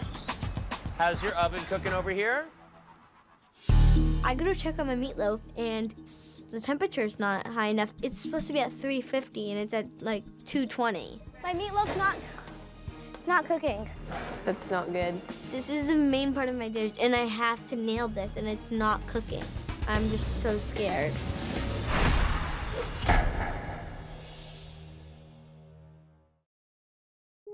How's your oven cooking over here? I go to check on my meatloaf and the temperature's not high enough. This oven is something that I've never worked with before. What do you need? I need the temperature up higher. Okay. You've got to click the center button that says bake. There's a little knob. You got to click the knob, pull it over. We have some very high level professional kitchen equipment in the MVC kitchen. It can be confusing. Uh, 375. There you go. Thank you. Thank you, Chef Johnny. Yeah. The oven's working, but I don't know how my meatloaf's gonna cook in time. That was a really solid move helping Olivia out with the oven over there. Definitely. You know, these kids, they're gonna grow up and they're gonna treat other chefs how they're treated. That was one thing working for Ramsay that I definitely learned. So talk to me about the chicken right here. It's just something that reminds me of home. That's the idea. That is the challenge this round. Good luck. Right now, we're gonna do a pickle. I mean, who doesn't like pickles with fried chicken? I need to win this round because it's fried chicken and that's something I'm known for. I don't know if that meatloaf's gonna be done. So time's almost up. At this point, I'm so worried. Nobody likes raw meatloaf at all. Pull it out, pull it out. Come You got a minute 30. I touch it and it's firm. It's cooked nicely. One minute remains, chefs. Going together on the plating, I really want it to be a little messy, a little rustic. I want them using their hands. Fight over who gets the thigh or the drumstick. Five, four, three, two, one. Step away from the burners. Olivia seems very pleased. Good job. My meatloaf is cooked. Everything is on point. I'm really confident that I'm gonna win this challenge. Definitely my dish. Looks like a winning dish. I mean, that fried chicken, the way it's cooked, the technique is there. Chef Olivia, please explain your dish. Here I prepared for you a mini meatloaf with boursin cheese, mashed potatoes, and some roasted vegetable gravy. Looks very good. Looks like a very well composed dish.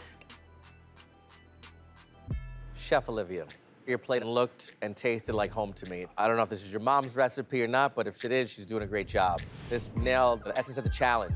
The nice homey meatloaf, the nice creamy, cheesy potatoes. The one issue I had with the meatloaf is I just think you needed to mix it up a little bit more to get the breadcrumbs and the eggs and everything really incorporated evenly, but overall, a really great dish.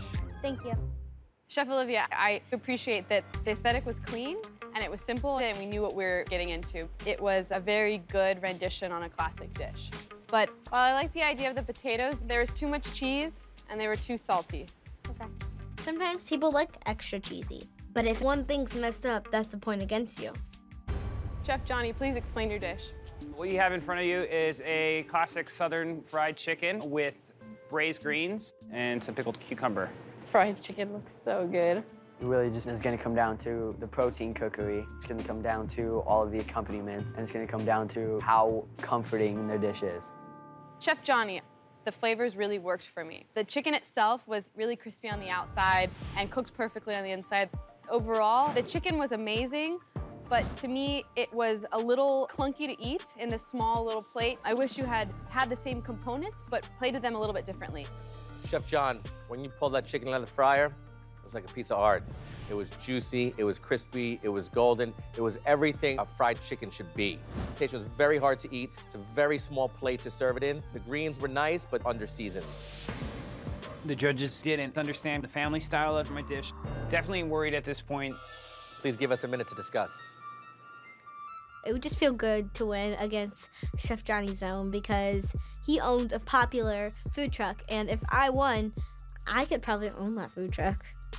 This round is definitely really important to me. People know me for my fried chicken, and I put a lot of love and care and thought into this dish. So, Mike, Alia, who's the winner of round two? We've decided that the winner is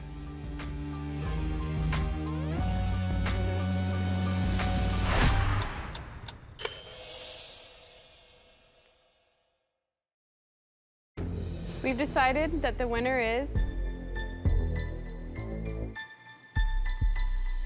Chef Olivia. I win! I did this. What? I did this. Congratulations, Chef Olivia. For you, Chef Johnny, if there was just a bit more salt, a nicer presentation, could have taken it. Losing this round is definitely some ego damage, but I just want to put my head down and finish strong. Congratulations, prodigies. This means that your team gets to pick an advantage from the menu board going into the third and final winner take all round. As always, round three is a trios round, meaning you will have to create three dishes. This round is to be presented and judged by our master chef in a blind taste test. Our special guest today is a culinary giant. He opened the Foundry on Melrose in 2007 and quickly became known for his elevated take on home cooking. Now, with his newest venture, Maré and Greenspan's Grilled Cheese, he has truly emerged as a king of comfort food. Please welcome Chef Eric Greenspan. Eric Greenspan, I don't think there's any comfort food that he doesn't execute well. I've seen him in multiple interviews, cooking shows. He is one of the more specialized comfort food people out there. Heard you guys are throwing a comfort food party. Obviously, I had to crash it. I mean, for years, I've been reworking comfort food and kind of elevating it to a higher level. But there's one thing that is near and dear to everything that I hold holy, and that is obviously the grilled cheese sandwich. Oh! I think this challenge is going to be really cheesy. I love puns. I've been doing grilled cheese sandwiches for a long time. I need to see some creativity. I want bold flavors. I need crispy bread. So don't think that you can put two pieces of bread and cheese together and win this darn thing. I take it seriously. I'm looking forward to you guys to take it really seriously too. Thank you, Chef Greenspan. We'll call you back just as soon as our chefs have completed their cook. Good luck, guys. Look forward to tasting, all right? All right, Olivia, it's time for the big question. Which one of your teammates is gonna make a good grilled cheese for the third round? I choose Chef Cloyce. I think Chef Cloyce is perfect for this round because he always goes out of the box. He's going to be able to come up with something really great and big and bold. This chef is a fan favorite, He's not only brains, but also brawn. Yes, I get to cook for Eric Greenspan, and I'm excited. It's important for me to win this challenge because Eric Greenspan is somebody that I've been looking up to for quite a long time, and he's got such expertise. Having Eric Greenspan pick my trio would be something special. Please welcome Chef Cloyce.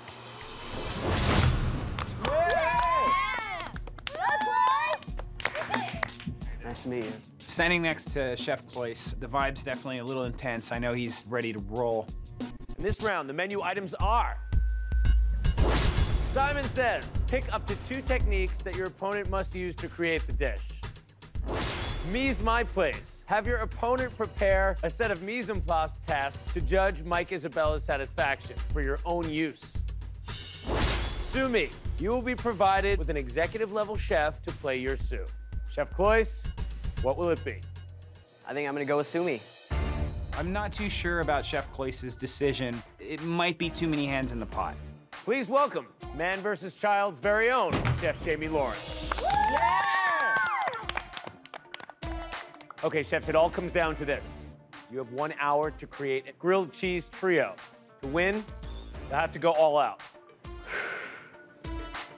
Your time starts now. Grilled cheese seems deceptively simple. But Chef Greenspan said he doesn't want it simple. It would be nice to see three different types of bread, three different types of cheeses, but also ingredients that pair well with those cheeses and that bread.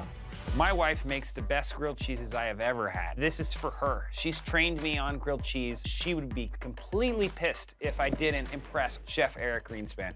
The first grilled cheese I'm gonna make is a traditional white bread cheddar. The second grilled cheese, I'm gonna make a three cheese grilled cheese on sourdough. The third grilled cheese is a German inspired pretzel grilled cheese with salt rubbed cabbage and black forest ham. The stakes here are very high. If I lose this round, I'm sleeping on the couch for probably 20 days. All right, let's get some smoked gouda. Let's get taleggio. For my trio, I'm going to make a pimento grilled cheese with crispy bacon on rye bread, a braised short rib with taleggio, mozzarella, and Gruyere, and a dried fruit chutney with mozzarella and Gruyere on sourdough, all served with house pickled veg. Can you start on a pickling liquid for me? Dill, let's do mustard seed. I'm pickling these vegetables because that extra acidity will help to counterbalance all of the rich fattiness of my grilled cheeses.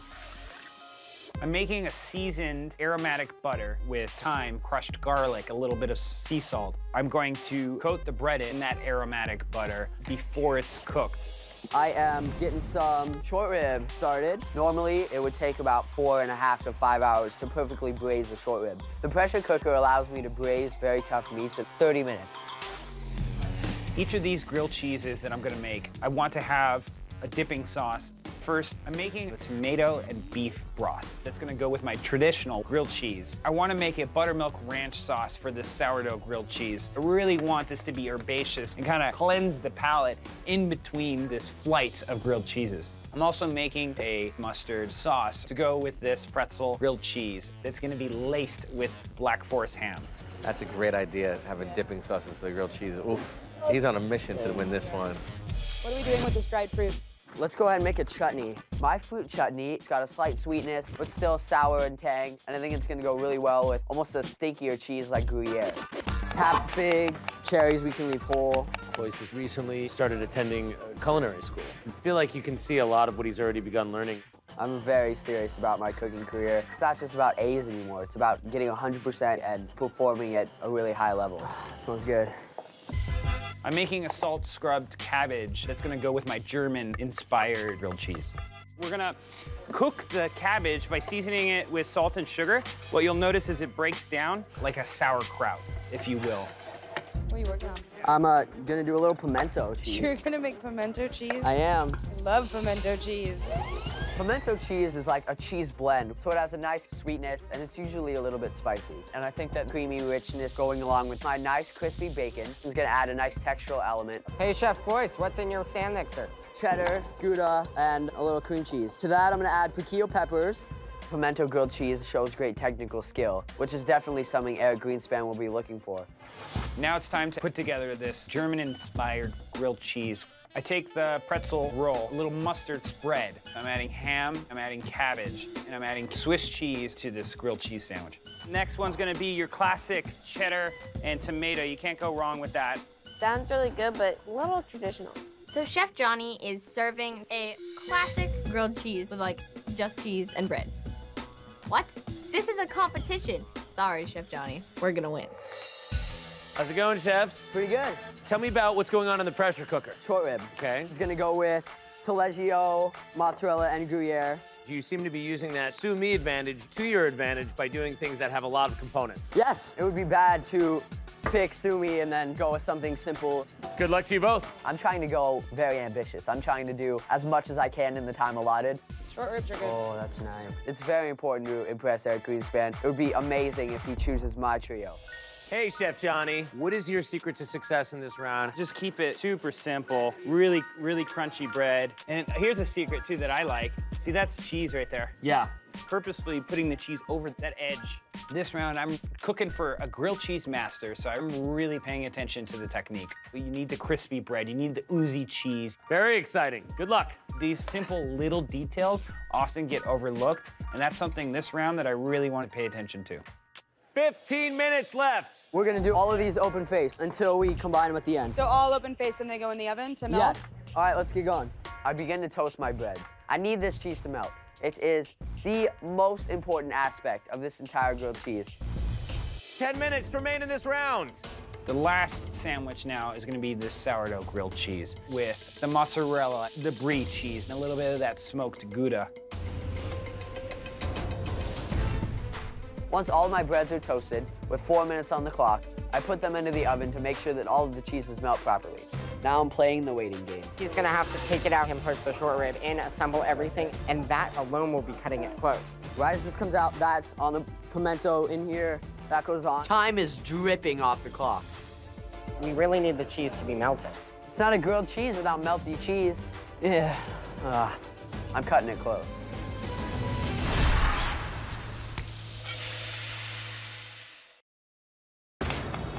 Time is dripping off the clock. It's not a grilled cheese without melty cheese. Yeah. Ah, I'm cutting it close. All right, I'm gonna pull it. The cheeses aren't gonna melt in time, so I begin to blow torch my grilled cheeses. Oh, he's going torch to finish melting. Two minutes remaining. I look over at Chef Place and I'm feeling good. He has two chefs and he puts up three grilled cheeses with pickles, and I have three grilled cheeses and dipping sauces. Five, four, three, two, one. Stop grilling cheeses. Good job, Chef Johnny. Good job, Chef Hey. Cloyce. I definitely made an elevated take on three very distinct types of grilled cheeses, so now it just comes down to Chef Greenspan's opinion.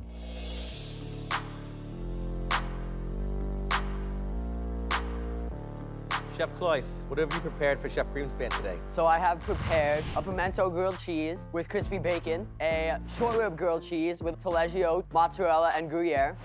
And then the last one is a dried fruit chutney grilled cheese with Gruyere and mozzarella and house pickles. Thank you, Chef. Chef Johnny, what have you prepared for Chef Greenspan? Today I prepared a classic grilled cheese with a tomato broth. We got a three cheese on sourdough with buttermilk ranch inspired sauce. On the end there we got a German inspired cabbage black forest ham with mustard ham sauce. Thank you, Chef. Chefs, please welcome back our round three guest judge and master chef, Eric Greenspan. Look at this. So this is a blind taste test, chef, meaning you have no idea who cooked which dish. Now remember, these dishes are to be evaluated on presentation, creativity, adherence to the spirit of the challenge, and of course, taste. Chef, please try the dish on your right. I see Chef Greenspan feel my bread to test for toastiness. Maybe I didn't toast long enough, or my toasting wasn't even, but this is definitely something that could throw this whole situation into the trash can.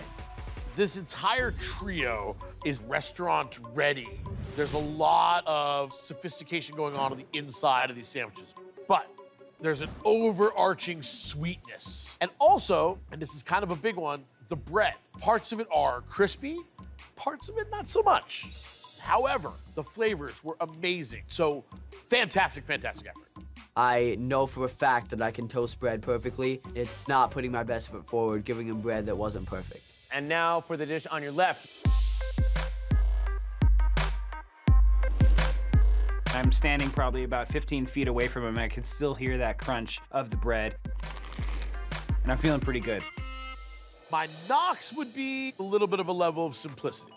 At the same time, talking about simplicity, and somebody had the chutzpah to just go cheddar cheese, white bread, done. And then I love the attempt at the dips, as if it's not enough pressure to make three grilled cheese sandwiches, but most importantly, the bread is crispy. Even though Chef Greenspan says it's pretty simple, the fact is I spent an hour making three grilled cheeses. Execution, the technique, you know, it's really spot on. So I'm feeling really good. Now, before we announce the winner of tonight's Man versus Child Chef Showdown, Prodigies, please enter the kitchen. I'm still feeling pretty confident because Chef Cloyce got criticism for the bread not being crispy enough, and that's one of the main components to a really good grilled cheese. Chef Greenspan, oh, you Prince of Provolone, who is the winner of tonight's Man versus Child Chef Showdown? All six sandwiches were phenomenal. But at the end of the day, if I had to choose, the winner would be this one. I win, and I feel great. Nice job. It's definitely an important message for a lot of chefs to not overlook the simpler things. You want to pay attention to the basics. Chef Greenspan, in the end, what put it over the top for you? A little bit of technique when it comes to the crispiness of the bread and creating three singular sandwiches with their own voice. But the fact that you guys came up with something this sophisticated and you have this command of flavor and technique is super scary because it means I'll probably be out of a job real soon. Chef Johnny was a very good chef. I'm happy that I lost to someone who's as skilled as he is. Well, thank you very much, Chef. My absolute pleasure. Thank you. Congratulations, Chef Johnny. And we'll see you next time on Man vs. Child Chef Showdown. Really good. Seeing these kids, I have a lot of faith in the future of cooking, and it's very inspiring to see that. You're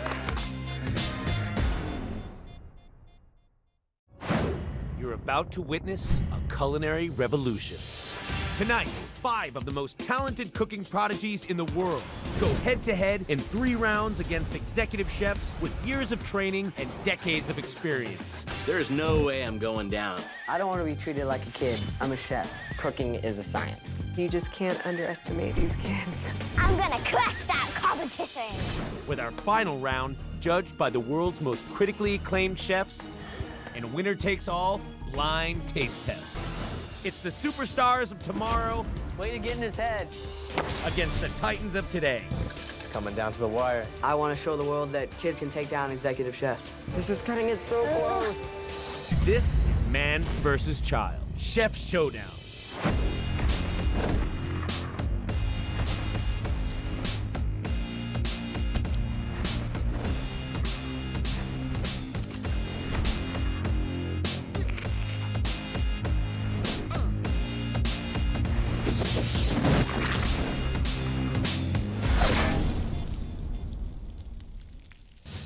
Host, Adam Gertler, and this week it's a culinary showdown in three rounds.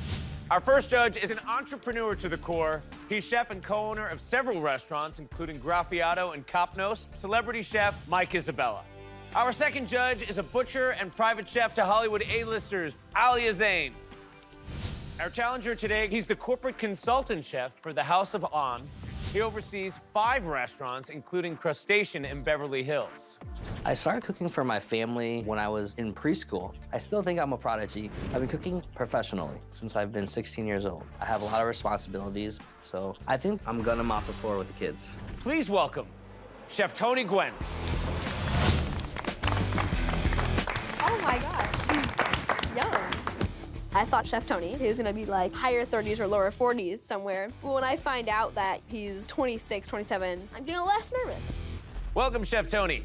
Thank you. Our prodigies will determine Chef Tony's competition in each round. Okay, prodigies, who's it going to be? Okay, we need something that's flexible. Chef Tony came to compete, so we need someone who can move quickly. Okay. We choose Chef Dylan.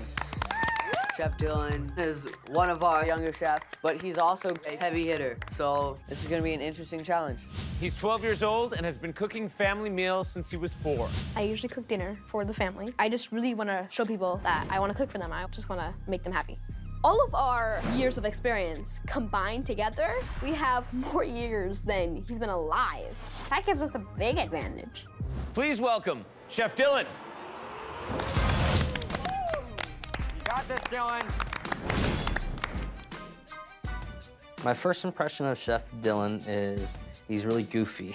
Right away, I feel like I won round one. Welcome to round one, chefs. For this challenge, you'll be working with one of America's favorite ingredients. In fact, Americans consume 30 billion tons of these every year. Potatoes. Thea's right, potatoes. But this isn't just any old potato challenge. This is Freaky Friday. We want you to select from this potato cornucopia and make for us a French fry worthy of a win. I've eaten many french fries in my life. I've eaten more french fries than Dylan. Judges, any advice? You know, the potato's really versatile. The choice of potato will determine texture and flavor. Be creative. For something so simple, you really want to let your imaginations run wild. And the flavors in your dipping sauce should complement the simplicity of this dish. The judges' critique is based on creativity, presentation, adherence to the spirit of the challenge, and of course, taste. Now remember, they will also allow the chef with the best dish to choose an advantage from our menu. As always, whoever scores the advantage this round has a better chance of keeping the advantage for the all-important winner-takes-all third round. Chefs, please take to the burners and prepare to begin your first cook. You have 30 minutes to take these spuds and make them scrumptious. And your time starts now.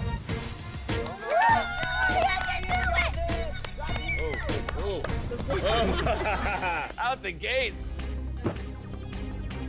He's making a lot of french fries. I grab the russet potatoes. I also grab sweet potatoes to put in my sauce. I hope I get bonus points for using more than one potato. What are the most important things to do to allow for that great french fry texture? It's definitely going to come down to how they cut the potato. And 30 minutes, you don't have a lot of time to do a bigger french fry. I would be surprised if they could do like a bigger potato and make it nice and crispy. I'm personally a fan of wedge cut steak fries. I make fries at home all the time, mostly steak fries. I'm in my comfort zone. I've got this. My mom and my grandma, they really inspired me to cook. And cooking is definitely, it's not the thing I do every day, so I have a lot of experience. Chef Tony has been cooking for about 10 years. I've been cooking for about seven. I can take this guy down. I'm cutting batons of russet potatoes. Thick enough to hold a shape, but not too thick to be too potato-y. You want to first blanch them so they're soft on the inside and crispy on the outside. I'm making a twice cooked French fry. I need two fryers so I can soften them in the middle and then wait till the last minute to drop them in the hotter oil to give it a crispy exterior. I'm getting a little nervous. Chef Dylan has some really largely cut potatoes working. It looks like he's going for the wedge cut. Yummy! And the skin is some one of the best parts. I'm planning on making skin on wedge cut garlic fries with a ginger infused malt vinegar and a curry mayonnaise. Fries, they're fries, but I feel I can take them to the next level with multiple dipping sauces. It will show my creativity and it's gonna make a huge impact on my fries and how they taste. Dylan, Dylan, Yeah? make sure you turn your fryer on. It's already on, thanks. oh, we got a little banter going on already. The prodigies do not intimidate me at all. I do not think Dylan stands a chance. Chef Tony, what are you working on? I'm working on a, a plate on breakfast with bacon, potatoes, and eggs. And I'm working on a sauce made out of sweet potatoes. A sauce made out of sweet potatoes. Brilliant. I gotta say, Dylan might be in trouble in this round. At the end of the day, it's about a fried potato, Yeah. not about a potato sauce. So it could be a lot going on on Chef Tony's side. I hope the fries are the star of the show. I'm very versatile in different cuisines. You know, I was classically French trained. My last job was with the East Mediterranean chef. I just think it's very important to always have a variety of cooking styles and cuisines. Chefs, 20 minutes left. If you feel like you're running out of time, you just have to fry harder. Ah. I'm gonna blanch the fries in my boiling water for about five minutes just until they get soft because if I stick them right in the fryer, it will only make it crispy on the outside. That's a problem I don't want. Is there a difference between blanching in water versus oil? When you blanch it in oil, you're gonna slowly cook some of the liquids out and the potato's gonna become nice and soft textured. So when you chill it and you put it back into the fry, it's gonna crisp up very quickly. Right. If you blanch it in water, the potato's gonna actually absorb water, so it's not gonna get as crispy when you fry it. When you do it in water, the potatoes do get waterlogged. I would have done the same thing that Chef Tony did. Shoot, do not fall. Don't you dare fall. So I take my blanching potatoes out of the boiling water and I'm gonna set them on a sheet tray and I'm gonna pop that in the fridge because I really wanna make sure there's no water on these fries. Chefs, 15 minutes, halfway through round one. Dylan, how are we doing? Excelente. What's the most difficult part of making fries? Um, probably the texture of the skin. You don't you don't want like overcooked fries. Talk to me about this uh, infusion here. Um, this is the ginger infused malt vinegar sauce. Malt vinegar on fries is very popular in England. The idea of uh, infusing the vinegar is pretty cool. Are you confident you're gonna win this challenge? Very confident. What do you think about what your competitors have has going on this round? He doesn't look so tough. Excellent. Well, ever the fierce competitor, Dylan. He's so young. I mean, I feel we have about as much experience as him. What could go wrong? Chef Tony, how are we doing? Doing great. Talk to me about breakfast. It's my favorite meal of the day. So I'm gonna do some bacon, eggs, and potatoes. Breakfast is very comforting. I think that potatoes are very comforting. Eggs are very comforting. All of these should go together well. Breakfast and uh, sweet potato sauce. Added really chunky sweet potatoes, almost raw, Mhm. instead of just mushing it down and not recognizing what it was. I just threw it in into the, a, a little aioli. All right, excellent. Good luck. Thank you, sir. It's finally time to fry the french fries. I also throw in some rosemary and garlic in there to help infuse the oil. Oh no. Okay. Why don't you keep those fries in as long as you can, get them nice and crispy. Pull all that liquid out of it, pull that moisture. Yeah, you really want to like cook them long enough in the oil so that, that all that water does come out and they're not soggy. Oh my God. He just, he just, oh my God. Dylan keeps lifting up his fire basket and his french fries aren't gonna get crispy if he keeps doing that. This could cost us the win. The problem with steak fries is they're big and fries have to be crispy. You can't have them just a mushy fry that's flopping over, especially steak fries. My fries look a little bit soggy, which I'm a little bit nervous about. This could lead to us losing today. My fries look a little bit soggy, which I'm a little bit nervous about. Are they cooked? Guess not. Dylan is taking the fryer basket out with the french fries in it and putting it back in. And with that constant movement, they're not gonna be done in time. I want them to be crispy on the outside, but when you dig into the inside, you know, take the bite, you have the creaminess in the inside. I had a little bit of a struggle with the fryer. My fries are not coming out crispy, but I'm planning on keeping them in there for about five minutes. These are garlic fries, so I'm making kind of like a garlic sauce that's gonna go on top of them. And then I'm gonna pour that over the fries and chop up some parsley and pour that on top and then toss that together, and that's gonna really make the star of the show, garlic fries. I'm making a twice cooked french fry and I'm using breakfast as an inspiration. I'm gonna have eggs and bacon and potatoes. Fry the egg at the very last second and use the bacon grease to coat and baste the egg. The egg is gonna be really delicious with the bacon fat. It's smelling phenomenal. That's a nice fried egg.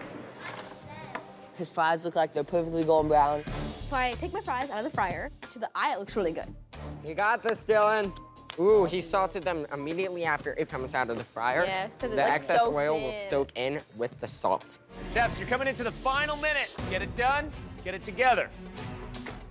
I'm plating as fast as I can. 30 minutes flew by. I can't believe I only have a few seconds left. I have to get everything plated. I can't fail.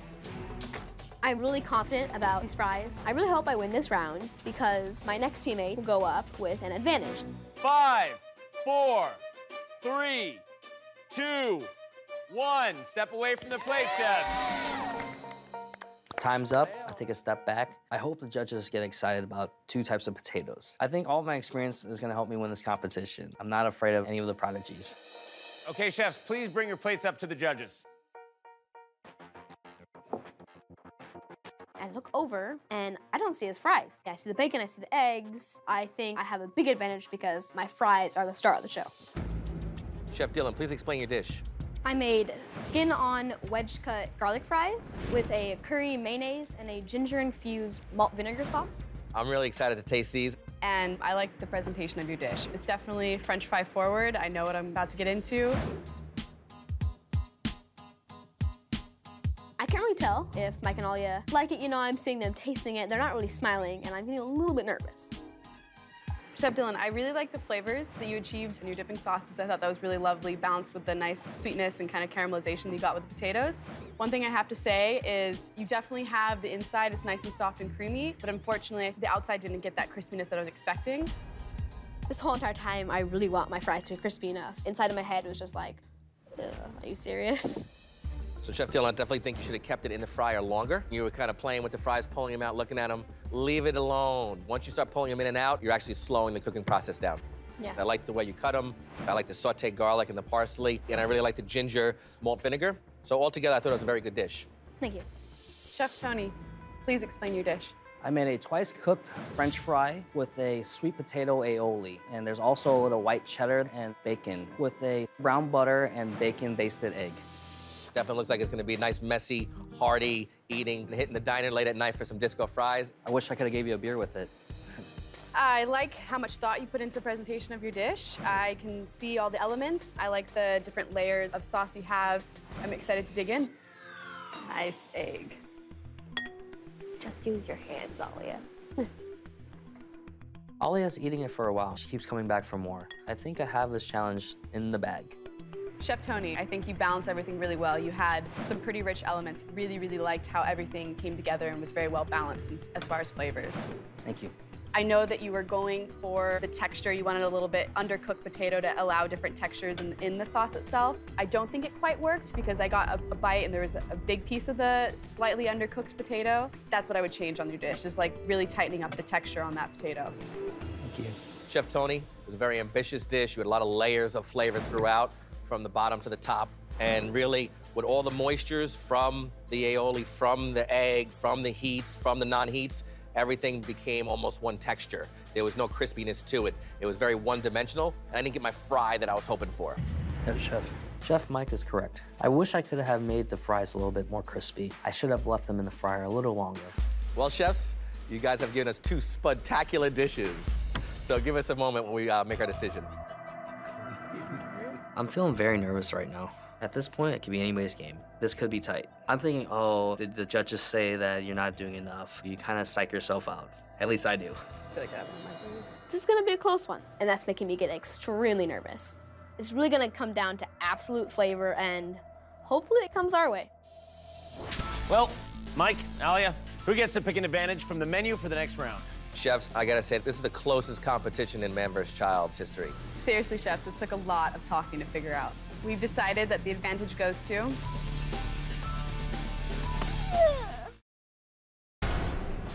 We've decided that the advantage goes to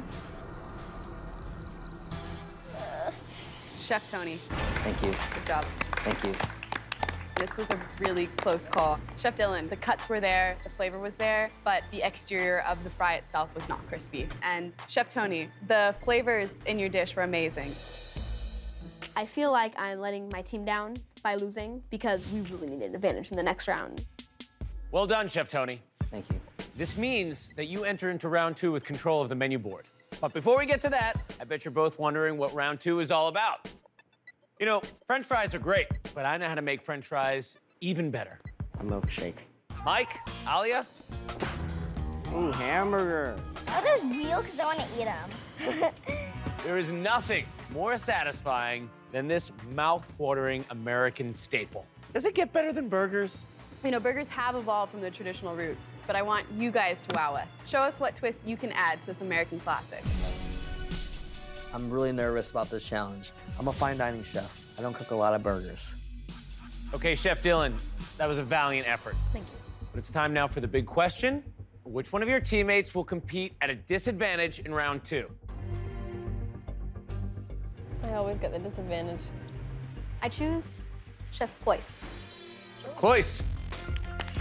But I think Chef Cloyce is the one who can overcome the disadvantage and pick us up after this.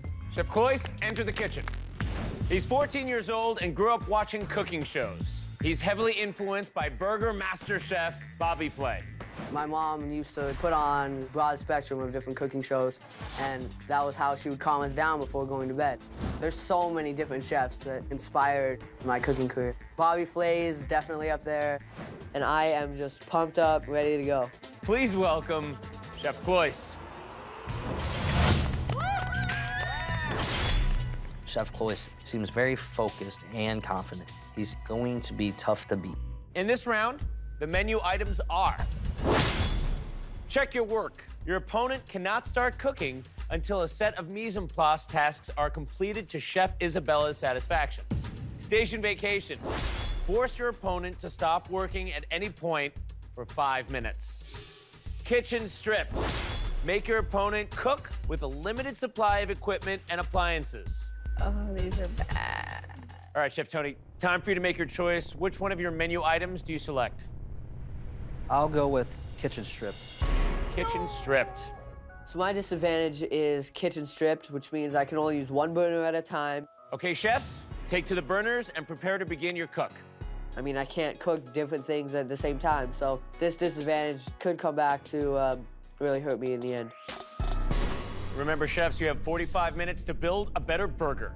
And your time starts now. You got this, boys!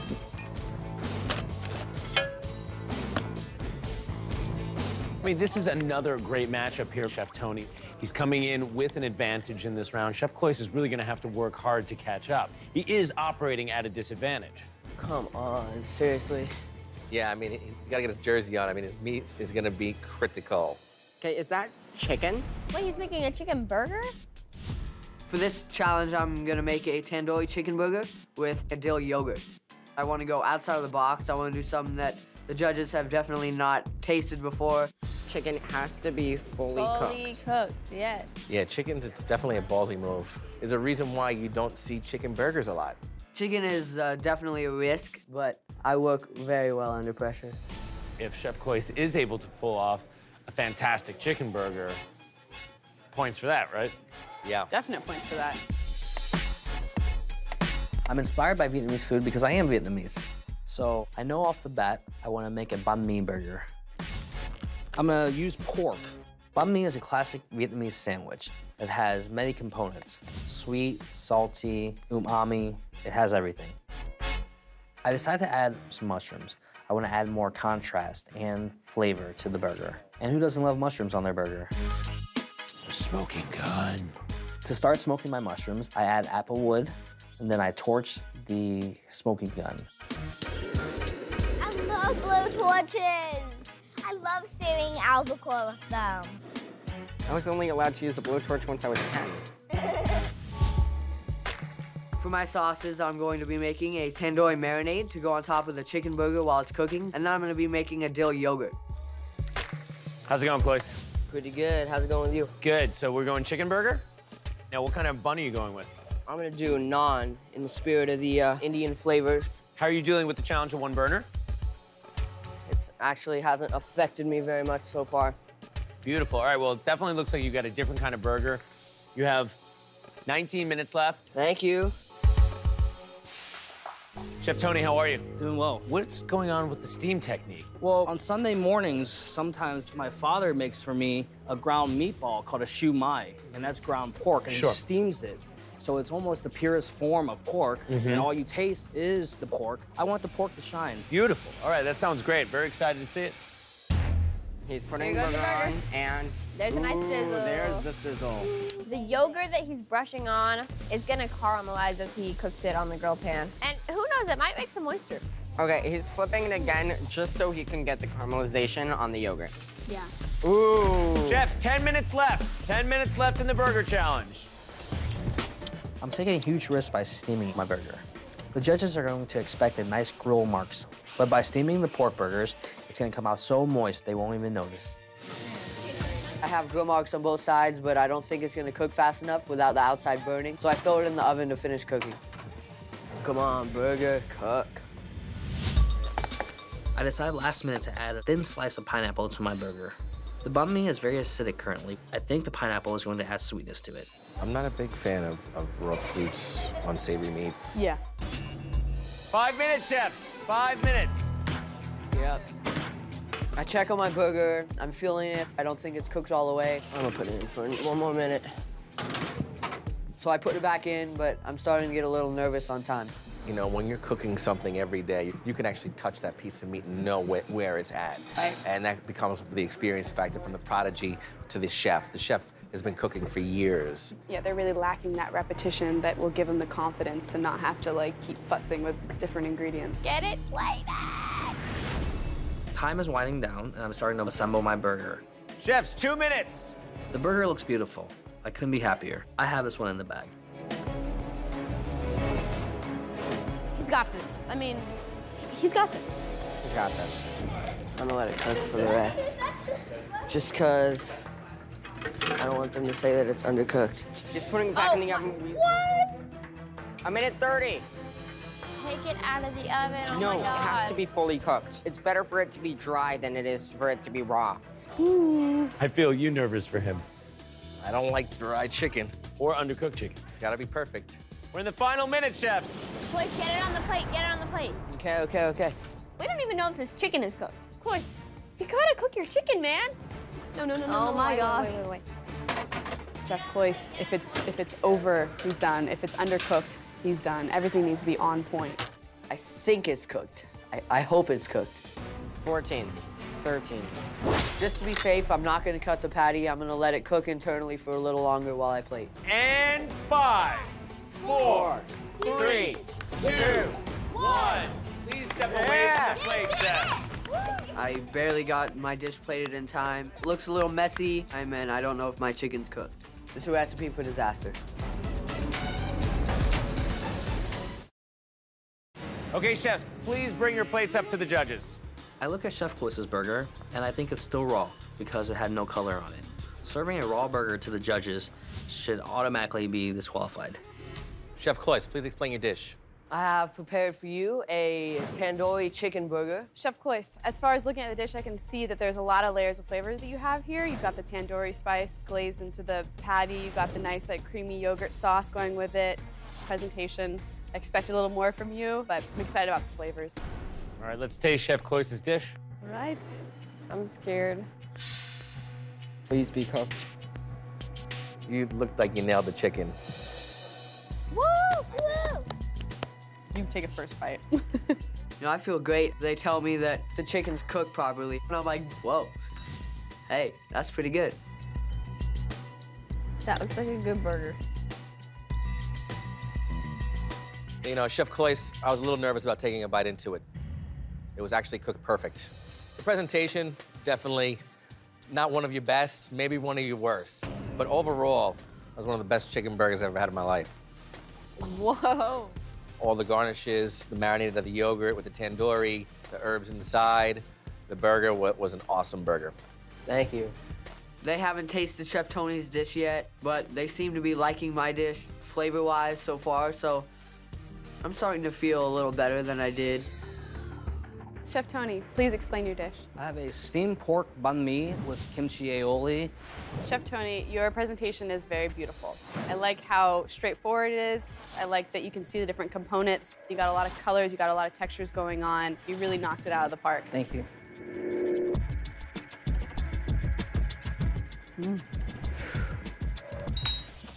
Chef Tony, everything you had going on was very, very flavorful. Um, there were a lot of textures going on, a lot of sweetness, a lot of acidity. I think it was very, very well balanced. My critique would be that it was a little difficult to eat. When we bit into it, the bread kind of fell apart, and a lot of the garnish started falling out, so it became tough to eat. Pineapple I wasn't crazy about, but the beauty, all the different flavors, the smoked mushrooms, the charred onions, overall I thought it was a great dish. Thank you. Both of you chefs put up two great dishes and went head to head on this, so give us a little time to come up with an answer. Chef Tony definitely beat me with presentation, but I'm gonna get lots of kudos for cooking a chicken burger properly. And I gotta win this round so I can send whoever gets sent into the third round with an advantage because round three is the most important round because it's the winner takes all round. At this point, it could be anybody's game, but I'm never gonna hear the end of this if I lose to Chef Cloyce. Well, Mike, Alia, who gets to pick an advantage from the menu for the next round? Once again, in the second round, it was a very tight decision between both of you guys. We've decided to give the advantage to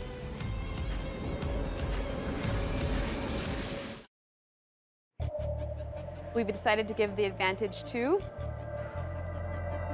Chef Cloyce. Nice job. So when it's announced that I've won my challenge, makes me feel great. I know that my team is going to go into the next round with control of the menu board, and this could be another win for the Prodigies. Well done, Chef Cloyce. Whoever you select will either get to choose an advantage for themselves, or they may hamper Chef Tony with a disadvantage. As always, the third and final round is a trios challenge, meaning each chef will have to create three different dishes. But before we get to that, I'd like to present our master level chef to introduce and blind taste round three. She's executive chef owner of South Bay's most popular beach hotspots, including Hudson House, Tripel, and most recently, Playa Provisions. Wow. Please welcome Chef Brooke Williamson. Welcome, Chef. Thank you for having me. For the final round, Chef Brooke Williamson is in the house. Whoa. Welcome to the Man vs. Child Kitchen. Thanks, Adam. Great to be here. Chef, please tell us what is our round three trio? Growing up in California, it's always summer. And I'm lucky enough to have been able to spend a lot of time on our great beaches and boardwalks. And when I think of fun food and boardwalks, I think of fair food. There you have it. A fair food trio it is. Pretty whimsical. I love going to the fair. There's all sorts of cute animals and fun, fun games and really cool rides. Chef, thank you for your help in presenting round three. We'll call you in as soon as our chefs have completed the task. Best of luck, chefs. Time now for the big question, Cloyce. Which one of your remaining teammates will compete with control of the menu board in the third and final round? I choose Chef Holden. Chef Holden, enter the kitchen. Holden's the right pick for the Fair Foods Challenge because, I mean, we're teenage boys. We love to go to the fair. He's never had a grade lower than an A. He loves fly fishing with his grandpa. I've lived in California all of my life, and I always go to the fair. Fair foods are all about batters, and batters are all about proportions, ratios, and science. That's me. Please welcome Chef Holden.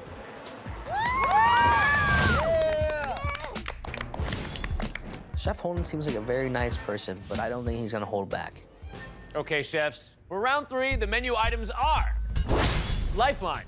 You can ask a judge to provide feedback on one of the components of your dish. Prime time. Take five minutes off your opponent's cook time. You bet your knife. Pick the one knife your opponent will be allowed to use for the challenge. So, Chef Holden, what's your selection? I choose You Bet Your Knife. You bet your knife. Now, Holden, please approach Chef Tony's station and choose the only knife that he may work with. Let's see how many knives you brought today, Chef Tony. What is the knife that you've selected from Chef Tony's kit? The tournaying knife. Oh, there's no way. Yeah. Woo! A tourné knife is usually used for tournaying, which is some really strange, fun garnishing technique in French cooking. I am diabolical. Chefs, you have one hour to create a fair foods trio. Your dishes will be tasted blindly by master level chef Brooke Williamson. Your time starts now.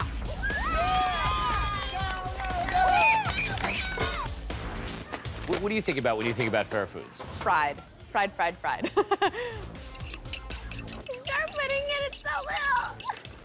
Uh, a tourné knife is used in very classical French cooking to cut vegetables into this football shape.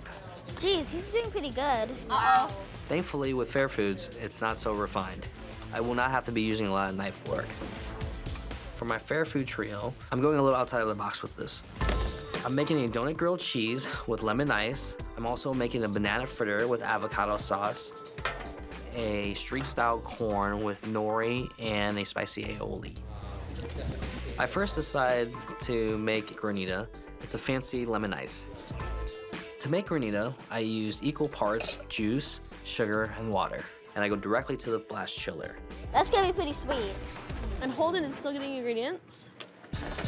In a competition like this, you have to work on every single thing all at once. And at this point, I'm trying to figure out what I can do for this challenge. Um, this is pre-cut. No, I want slab. Hooray! Look at him over there. He's already. Oh, he looks like SD, SD, SD. Calm it down. You're going a little bit too hard on him. Making a avocado smoothie to go with the banana fritter A banana fritter is a very traditional Vietnamese dessert. An avocado smoothie is also a very traditional Vietnamese dessert. I'm thinking they're gonna be great together. A nice, cool, creamy avocado milkshake. Yeah, I love those. Once pureed, I stick it into the refrigerator, keep it cold. I'm gonna wait till the last minute to fry the banana. So I have the bacon, and I'm thinking chicken fried bacon. Chicken fried bacon is something that's kind of unusual, but you can find it at a fair. That's uneven. I slice up some bacon, I put in some buttermilk with a bit of Tabasco, and I just leave it there for a while. Okay, next would be the... Hold on, focus, focus, focus. Wow, I'm really scattered today. No, no, no, this is not going well. So I'm really not sure what I'm going to make, but I'm thinking Fair's funnel cake. But I want to make a spice funnel cake because it takes it up a level. 41 minutes left, and he's still making his mixtures for coating. Chef Holden seems very unfocused, which is not very good for the prodigies. Holden, get up your game! Get up your game! I'm gonna make a donut grilled cheese. I've seen donut burgers and fairs before. This is my inspiration. I've never eaten a grilled cheese donut before, but it's donut and melted cheese. How could that be bad? So we will see. 30 minutes, chefs. I have two dishes figured out, and I still have one more to go. I like corn dogs every time I go to the fair, so mini corn dogs it is. And to elevate my corn dog, it will be paired with a grain mustard mayonnaise. What? Yeah, I need to clear some He has nowhere to put it. Oh my, hold it.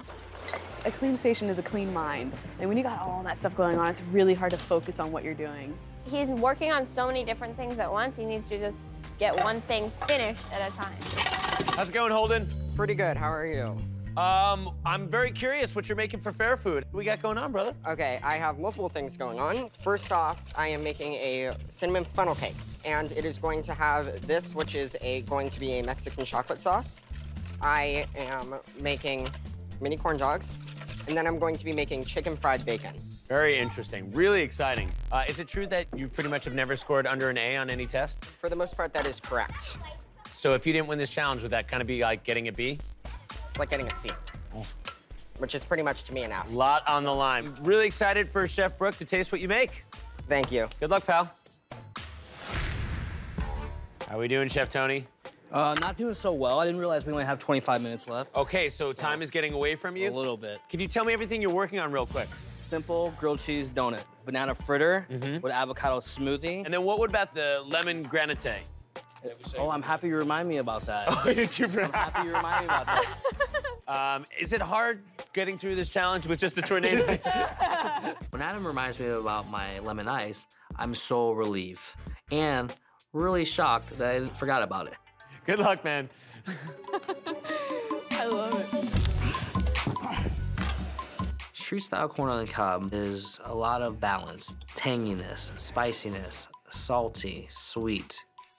And my corn will be inspired by Asian flavors. Okay, chefs, 10 minutes left. Final 10 minutes. Oh my God. I'm getting completely scatterbrained. I have to step back from my station for a second, take a deep breath, and start cleaning off my station. Holden, ain't nobody got time for that. There is time for that. This is not only a chance to clean it, but it is also giving me a chance to collect my thoughts.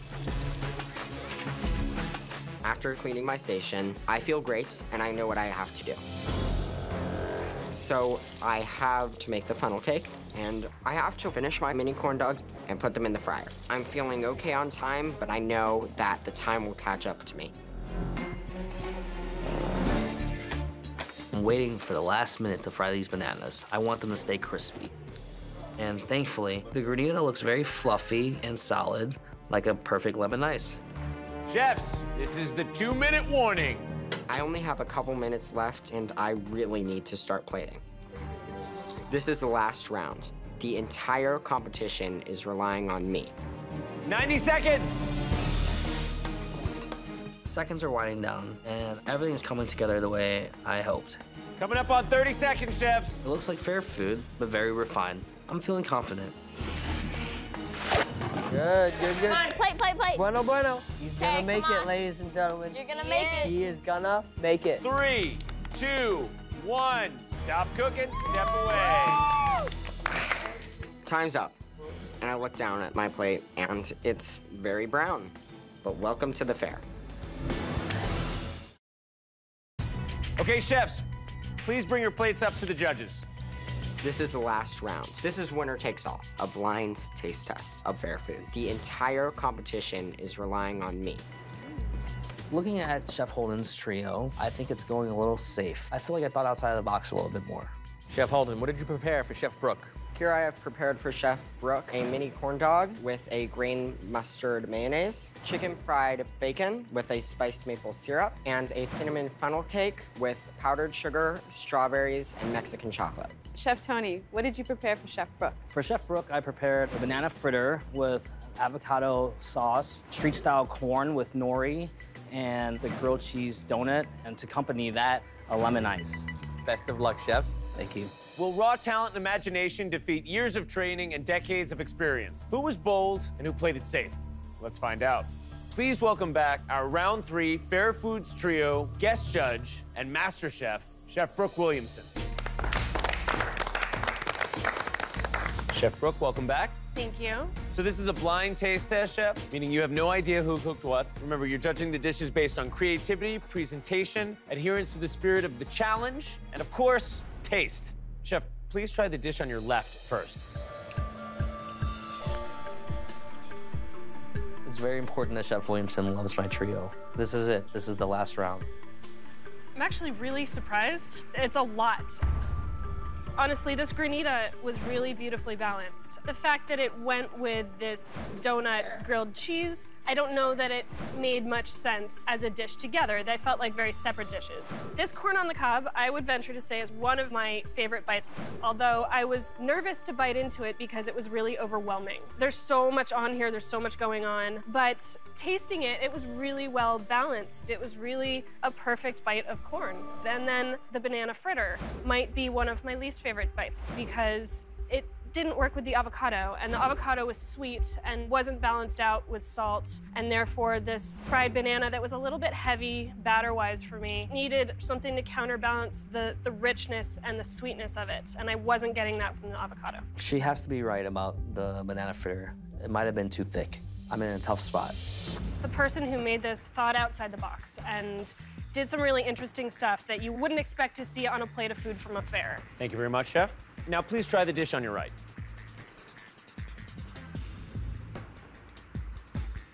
Chef Brooke Williamson takes a bite, and she has no expression for a few seconds. And then she's happy. It looks like she's really enjoying it, but it's been close calls all day. So I have no idea how it's going to turn out. To start off, this corn dog is really a perfectly done mini corn dog, which is kind of all I want. Couple of perfect bites. And the funnel cake, it was nice and crispy on the outside and moist on the inside. That chocolate sauce, I love dark chocolate, and I feel like spice goes really well with dark chocolate and the cinnamon, that was kind of a perfect bite. The bacon here was cut a little bit too thin, dried it out a little bit, although technically on the plate, it's one of the more interesting elements. As a whole, I would say this is a really well executed plate of food. My only negative is that it's not incredibly inspired. For the most part, my reviews are positive, but the chicken fried bacon was overdone. I am now less confident than I was before. Now, before we announce the winner of tonight's Man vs. Child challenge, prodigies, please enter the kitchen.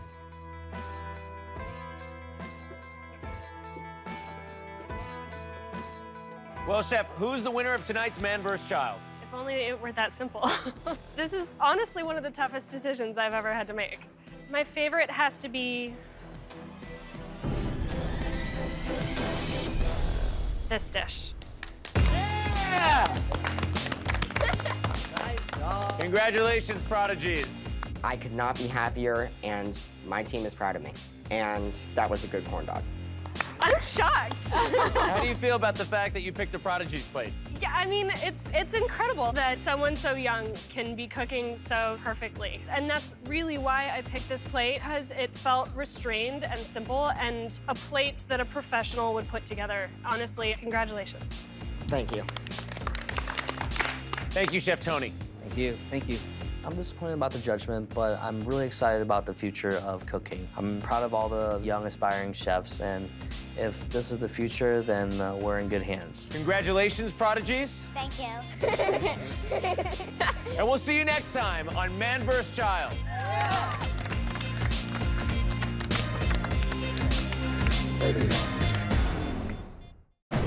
You're about to witness a culinary revolution. Tonight, five of the most talented cooking prodigies in the world go head to head against executive chefs with years of training and decades of experience. There's no way I'm going down. I don't want to be treated like a kid. I'm a chef. You just can't underestimate these kids. I'm gonna crush that competition. It's a culinary showdown in three rounds, with our final round judged by the world's most critically acclaimed chefs in a winner takes all blind taste test.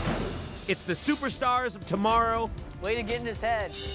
Against the titans of today. Coming down to the wire. I want to show the world that kids can take down executive chefs. This is cutting it so close. This is man versus child. Chef Showdown.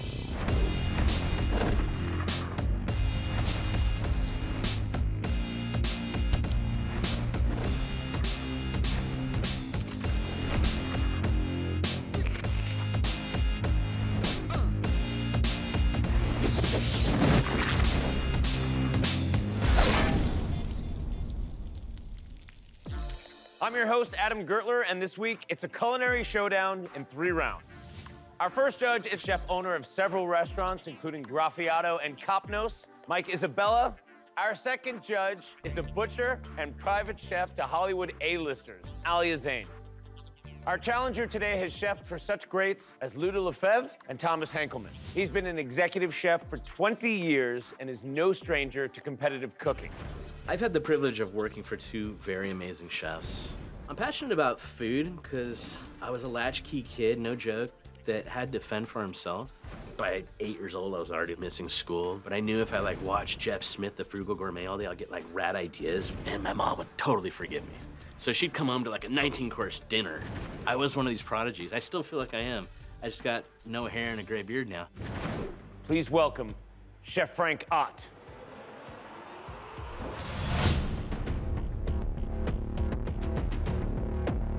Prodigies. Round one. Who's it gonna be? I'm looking at these kids, and I'm not really worried. I'm always ready to compete. These kids are going down. Esty is a perfect pick for round one. She will eat anything and she knows good flavors. Worst case scenario, if something goes wrong, she can just smile and give the other chef a hug. It's a very cute distraction. So, Prodigies, who are we sending down? We choose Chef Esty. She's seven years old, dances, and sings in Mandarin. But most of all, she has considered herself a chef since the age of three. When I was three, I got a chef coat and a chef hat. I realized I really wanted to be a chef. My friends they aren't into cooking as much as I am, so they're like, you can cook. I'm ready for this. I'm here to win. I'm gonna crush that competition. She's tiny but mighty. Please welcome Chef Esty.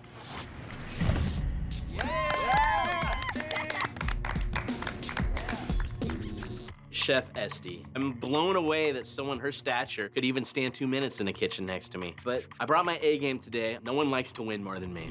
I like fine dining as much as anyone else. I really do. But sometimes I just want something delicious.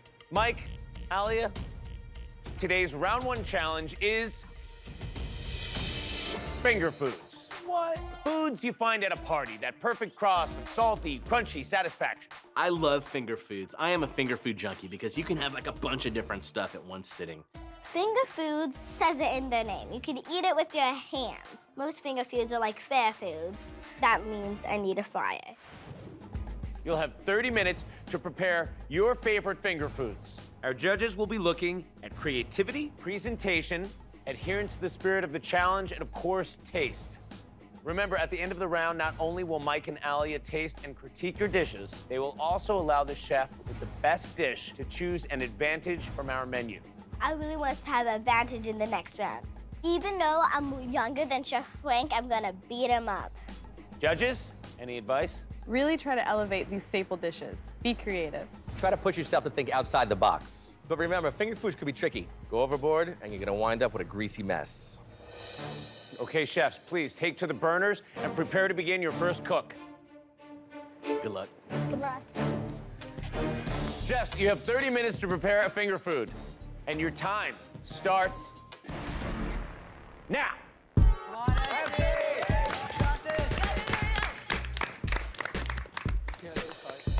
Cannot believe Chef Esty is seven years old and competing against me. You know, I'm six times her age. I feel like I have to do at least four times the dish. I've cooked in every realm you can imagine in this industry. I feel like 20 something years of experience will prepare me for victory today. So for this round, I'm gonna make warm goat cheese filled mushroom caps. I'm also going to marinate cucumbers, fill them with guacamole. My third dish is shrimp that I wrap with sage and pancetta. And my throwaway dish is frizzled onions. Now, if you were in this round, would you stick to one finger food? How would you approach it? I want to focus on one thing because if you do three finger foods and one's really good and one's not good at all, it kind of defeats the whole purpose. I know that I could win this round with one dish, but it's like lotto. You gotta be in it to win it. Evidently, I feel like I have nothing but time and I'm crazy. Four apps in a half hour is well within my wheelhouse. Not a big deal. Good, Esty. Come on. Get to Come work. on, Esty. Esty, you're already five minutes in. Chef Esty is taking forever. So I haven't started cooking. My time is ticking away. All of a sudden, boom. I know what to do. I'm gonna make fried chicken, but I'm gonna make it Korean instead of Kentucky. What's is that kimchi? Kimchi? So she's doing something kind of Asian inspired. Esty got kimchi out of the fridge, which is an Asian vegetable that's fermented in a jar. It's sometimes spicy, you know, and I feel like that's gonna be really good for a finger food. Esty over there scares the poop out of me. I, I can't lie to you. Esty, how you feeling over there? Good. Feel good? Yeah. What grade are you in? Second. Ah, awesome. So, having done a lot of parties with finger foods, I'm gonna do the old classic fill some mushroom caps. So right away I knew classic finger food, stuffed mushrooms. Like who, who doesn't want to eat a stuffed mushroom? I separate the stems. I get them sauteing with some shallots and thyme. The mushroom caps I put in another saute pan and I start roasting them with some garlic, fresh thyme, salt, and pepper. I throw them in the oven. I want them to cook through, releasing their moisture. When in doubt, add more expensive olive oil. That's what I always say. He knows his ingredients. And he also seems very organized. Look at him. Okay, and Esty, she's falling behind. SDK, come on. Esty, you need help, babe? Can I help you? Thank you. I can't lift up the Here. sugar. Just that? Oh, she's playing the game right. Look at oh. that. Thank you. There you go, sister. Esty is the most adorable kid. I can't even take it. I'm distracted by how cute she is. And then I see Esty has her shopping basket completely full of crazy ingredients. So I'm terrified. This little girl knows what she's doing. What's going on? She's like a little adult. Did you know she loves to throw dinner parties? Yeah, every Monday, Esty hosts a huge family get together with themed meals. She organizes everything down to party favors and even gets all dressed up for the occasion. Ah, it's like Esty's uh, pop-up restaurant. Well, the world is changing. Instead of the usual cartoons and sitcoms, it's a whole generation of youth that's been raised on cooking shows. yeah, I could, I could really see how that can give you a head start in cooking. I learned mostly all that in culinary school. I just love chicken wings. They're really good and yummy. What makes my chicken wings very Korean is the marinade I add them in has sesame oil and also yuzu to make it really flavorful. For me, finger food should be the starch, the veg, sauce, and the, oh my God, that was so good, wrapped into one bite. As long as I keep everything relatively small, I know everything will cook in 30 minutes. Hmm, okay, he's not doing one thing. He's doing four separate dishes. I think that might be a little bit too extreme. I'm gonna make my gochujang gastrique from scratch. Gochujang is a really, really spicy hot pepper paste. I'm adding this because the judges will devour it and love this gochujang gastrique.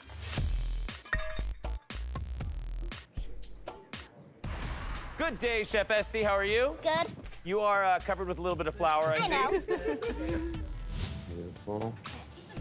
Yeah.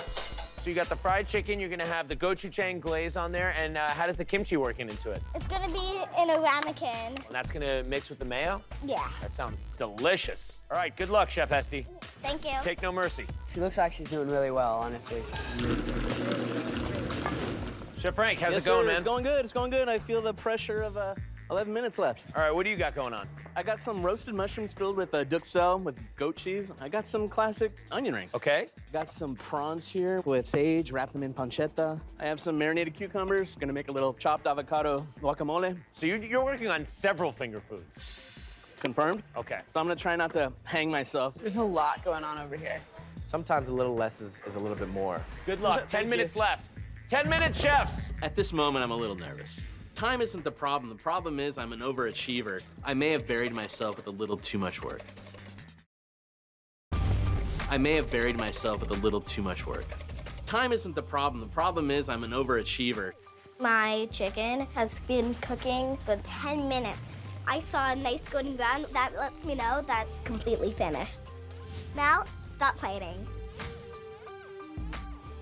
Ooh, it looks really pretty. But is it fully cooked? I'm extremely confident with this dish. I think Frank's gonna way underestimate me. Three minutes, chefs. Three minutes. So I'm waiting for the last second to do the onions. It just gets tossed with flour and deep fried for a second. He's just, adding his onion rings. Uh, okay. You can already hear the critique. The bacon's soggy. I'm running out of time. Um, my shrimp have been in the pan a minute and they're not even sizzling. Wait a minute. You come to help me? Ugh, like a shark. Way to get in his head. Sabotage. Oh. Serious. Chef Esty playing her game. She knows the cuteness factor. She's mad dogging this guy. It's important to win the first round, not just to get the advantage, but really, I hate losing. Chef Esty may be cute, but I don't want to lose, especially to a kid. One minute, chefs. I feel like I'm way ahead of the game, so I just chilled out and ate a banana. What else would you do? She better hope her chicken's cooked. I hope it's cooked with all that taunting. I'm running out of time. I have no choice. I'm hoping that the shrimp are cooked through. I really want to put toothpicks in them. There's just no time. Three, two, one. That's time. Step away. Chef Esty, step away from the banana. What? So I look over at Esty's dish and I'm blown away that it's a cohesive dish. I'm looking at both the dishes, and Chef Esty has this in the bag, in the shopping cart. Chef Esty, could you please explain your dish? This is my Korean fried chicken with a kimchi mayonnaise and a gochujang gastrique. Well, Esty, this looks like a nice plate of finger food. I'm excited to bite into this today. Thank you. Chips in the sauce.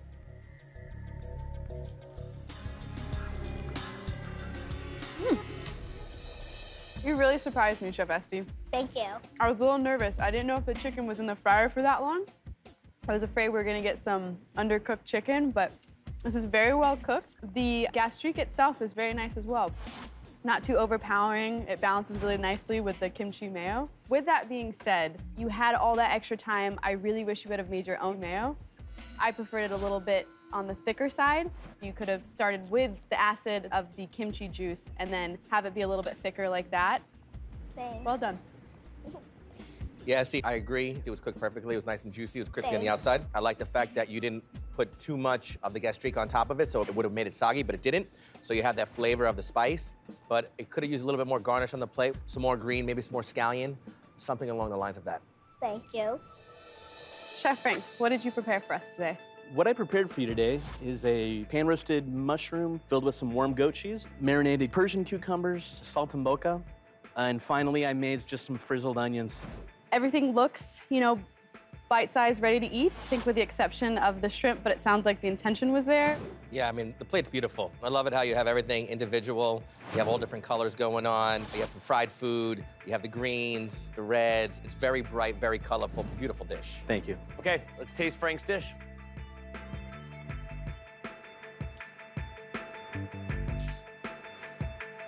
How should we eat this shrimp? I suggest you just pop it in your mouth and enjoy it. This one looks under.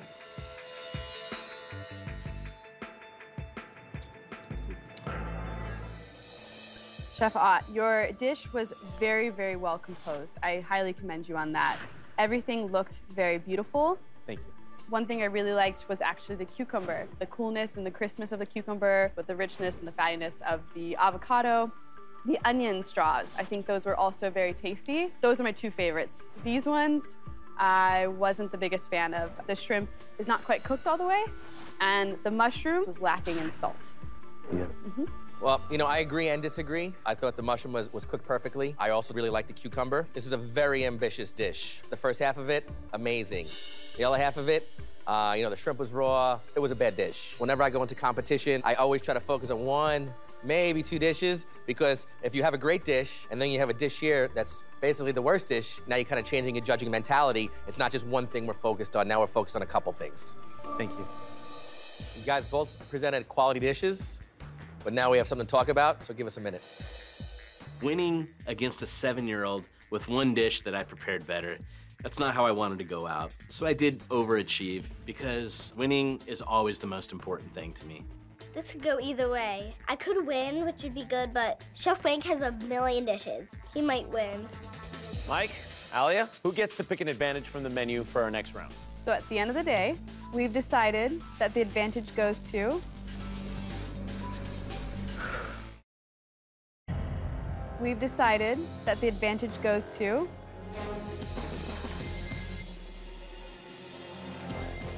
Chef Esty.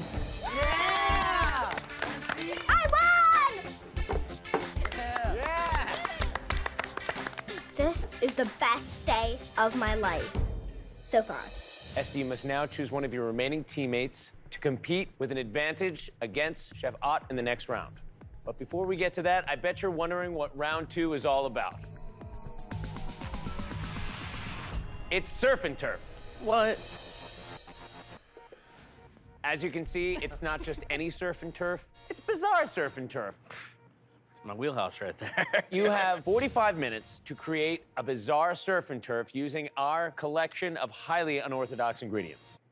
Ingredients like geoduck, uni, abalone, goat, black chicken, and alligator. Remember, nobody likes food poisoning. So pick your proteins carefully. I've cooked every single item up there. I know most of these kids haven't touched a single one of them. Chef Esty, which one of your teammates will compete with control of the advantage board in round two? I choose Holden. Chef Holden, enter the kitchen. I choose Holden to go next because I bet he's well experienced with all these bizarre ingredients, so he'll know how to use them into his dish. He waltzes, plays five instruments, and is the busiest 14-year-old in the U.S. I know every single thing when I'm walking into a test and the shell. It's a giant math test. What sets me apart from other kids my age is my passion and my drive. A lot of people, after one or two tries, will just give up, but that is not me. Please welcome Chef Holden.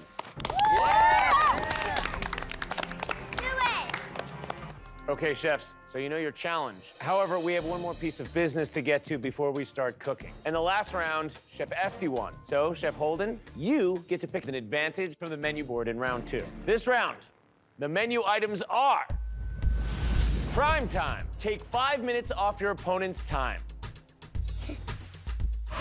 More ingredients, more problems. Throw a culinary curveball to your opponent. Pick any ingredient you want at any time that your opponent must incorporate into the dish. One stop shopping. Your opponent will only be allowed one trip to the pantry. Chef Holden, what's your choice? I'm thinking since it is a bizarre surf and turf round, I can really give him a challenge with different ingredients. More ingredients, more problems. More ingredients, more problems. So at any point during the round, Chef Holden may introduce any three ingredients to your dish that you have to incorporate. Chef Frank, how do you feel about that? Uh, I feel great. Holden, you ready to run with the big dog? I can see losing to a seven-year-old in the first round has not humbled you at all. Excellent. Okay, chefs, take to the burners and prepare to begin your cook. Chefs, you have 45 minutes to produce a bizarre surf and turf. And your time starts now.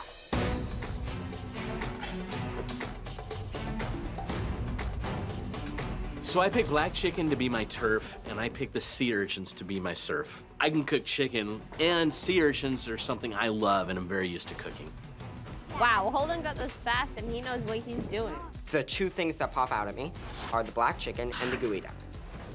So I choose to use the geoduck as my surf and the black chicken as my turf. They're both used in Asian cuisine, so I'm going to make an Asian-inspired soup. In order to win this challenge, I have to do something innovative, something that's not the normal chicken noodle. For my surf and turf, I'm making chicken crepinette with uni hollandaise sauce, roasted artichoke puree, and tomato confit. Making a chicken crepinette is something I pretty much do all the time. Chicken crepinette is essentially a chicken wrapped in fat and cooked. I knew that if I could stick to my comfort zone, no matter what he threw at me, I'd be able to handle it. Now he's got the pressure cooker out. Would you think that's a good way to approach the chicken? I definitely think it's a good way of approaching the chicken. The key with the pressure cooker is you want to get some heat in there. You want to make sure that you bring everything up to temp before you close it, or else it's going to take a very long time to come to temp.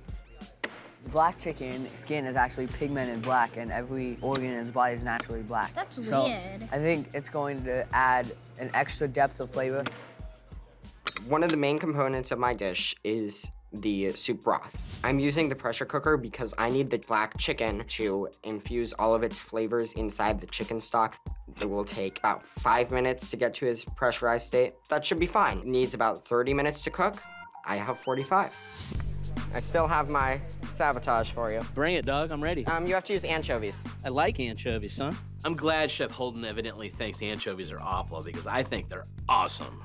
So I put the anchovies into the tomatoes. It creates kind of a Provençal flavor. This is perfect. Chef Frank, why don't you add bananas to that? Banana. Oh. oh, he has to do a banana. He has to do a banana. That was a really good one. Kind of threw me for a loop. Yeah, I don't know what I would do with bananas. Oh my God, I gotta put banana into my Provençal chicken dish. Great. Then I realized bananas really aren't strong in flavor. They're mostly just sweet. So I thought, okay, let's add some sweetness to the artichoke puree. How's that? Tastes pretty good. I have thrown bananas and anchovies at Chef Ott, and none of it is seeming to phase him. My pressure cooker isn't popping up. Switch burners. My pressure cooker is not pressurized. I have no idea what's going on. I want to just give it some time, and hopefully it will pressurize. I pick up the uni, I realize they're nice and dense. I'm happy that I still feel moisture in there. That means these are gonna be some beautiful fresh uni. Uni is labor intensive. I cut it open with scissors and I have to gently scrape out all the roe. So if I could get this uni hollandaise sauce prepared the right way, it should be awesome. Chef Holden. All right, so you have the siphon portion of the geoduck right there. Are you serving it raw? I am. As I am very thinly slicing the geoduck, I decide I'm going to put it on top of the soba noodles that are floating in the broth. You want it to complement what you have because it is very salty. It's fresh out of the ocean. Are you at all concerned about what Chef Ott is cooking? No, because I still have one more ingredient. Okay, well, take care of your noodles, take care of your soup. Good luck with the pressure cooker. Thank you. Chef Ott. Hi, what's up? I see the black chicken is actually wrapped up in its own skin. Confirmed, yes it is. It's wrapped up in its own skin. And then what is the surf portion of your surf and turf? It's gonna be this uni hollandaise sauce. Okay. Which is just gonna be whipped up with a little white wine. So what did you learn from the first round? It seemed like you tried to be a little too ambitious to kind of hurt you, maybe cost you the first round. Have you uh, changed the strategy for round two? Uh, I'm just keeping it simple, working in my wheelhouse. After the last round, I learned that overachieving isn't always fantastic. All right, thank you very much, Chef. I'm really excited to see what you come up with here. Thank you, so am I. My pressure cooker needs about a half an hour, and I don't have that time. I'm worried it's not gonna be chicken flavored enough. Holden does not have the typical look of confidence on his face that we're used to seeing from him. I think the pressure cooker is too much pressure for him. I'm getting nervous. We are starting to worry because we think that Holden's broth isn't totally cooked. At least Holden has one more ingredient to throw at Chef Frank. Holden, white chocolate. No, I'm trying to think of something that he will have trouble with. I'm deciding to throw him some sort of curveballs. How would you like to use ketchup? Ketchup, huh? Ketchup doesn't really scare me. I know I could put it into the oil for the tomatoes and create kind of a broken looking sauce. I think ketchup actually would taste pretty good in there. Chefs, five minutes. It looks good. It looks like it came together pretty well for only 20 minutes. I'm with all the flavor of the black chicken. I taste it. It does not have enough chicken flavor. I have two minutes left, and there's really nothing I can do at this point. Time is almost up. So I take my black chicken broth off the heat, and I taste it. It does not have enough chicken flavor because of the pressure cooker. If it had the 30 minutes, it would be perfect, but it did not. So I then add soy sauce and salt to try to get it to the right flavor. I hope it turns out okay. One minute! I laid my artichoke down, I slice and fan out the chicken, I hit it with my uni hollandaise, I take a step back. I'm very happy with my dish. Five, four, three, two, one. Hands up, step away from the plates. I really hope Chef Ott did not use the ingredients I threw at him well. I can't let him have an advantage in the final round. Third round is everything, and we're all still fighting to prove that kids can cook. Thank you, chefs. Please remember the menu disadvantage will not be taken into consideration by the judges. They're only looking at creativity, presentation, adherence to the spirit of the challenge, and of course, taste. Chef Holden, please explain your dish. Here I have made for you an Asian-inspired chicken soup with soba noodles and geoduck. Thank you, Chef. The restraint that you had while plating was very commendable. Less is definitely more. Your presentation looks nice. Wish it could have a little bit more broth in there. I really liked the idea that you had for this dish. Asian-inspired chicken noodle soup. There's definitely chicken in it. There's definitely noodles in it. I get the Asian influence with the ingredients that you used. However, it fell a little flat for me, not having the pressure cooker heated on time. I'm not getting a lot of um, Chicken flavor? chicken flavor. Yeah, I agree with Alia. Your pressure cooker came to a boil when you had 17 minutes left. Correct. This needs to cook for 25 to 30 minutes after it's caramelized at a high heat pressure. So your flavor didn't really develop. It was a beautiful dish. The noodles were cooked perfectly. I like the technique of how you cut the geoduck clam and put it on top. But again, you just had to develop a little bit more flavor. Chef Frank, what have you prepared for us? Today I prepared a crepinette of chicken breast. I made a puree of artichoke, tried to make like a Provençal style sauce. Uh, and finally, I made a hollandaise sauce with the uni. You know, your craftsmanship with the chicken is really well done. I think you did a really good job butchering that. I like the garnishes on your plate. I love that the Provençal feel. Chef Frank, I was really interesting to see how you were going to incorporate the banana and the anchovy and the ketchup, and you surprised me, and it actually tastes very, very good. The addition of the banana to the artichoke was really lovely. I get the cleanness of the artichoke, and you kind of get the sweetness from the banana. I really liked the chicken. Using the thigh skin and the breast skin and really marrying those two birds together and throwing in the herbs added really nice flavor. Thank you. You know, overall it was a good dish, but in this competition, it's about surf and turf. And I didn't taste any sea urchin. Maybe, you know, poaching the little tongues of the sea urchin in olive oil or maybe a little butter and kind of putting it on top of the chicken might have been a little bit of a better idea than just kind of pureeing it up with a lot of other ingredients. But overall, I thought it was a good dish. Chicken cooked well, and I enjoyed it. Thank you, Chef. So the judges seem relatively positive about my dish, and that's good. I really want to impress the judges. I mean, these are my colleagues. You know, overall, both of you chefs created two great dishes. We just need a moment to kind of go over it to see what we have to say. Because I'm familiar with most of these things on my plate and how they work together, I feel like this one may be a win. I am freaking out right now. If only that pressure cooker pressurized faster. Mike, Alia, who gets to pick an advantage from the menu for the next round? We decided that the advantage goes to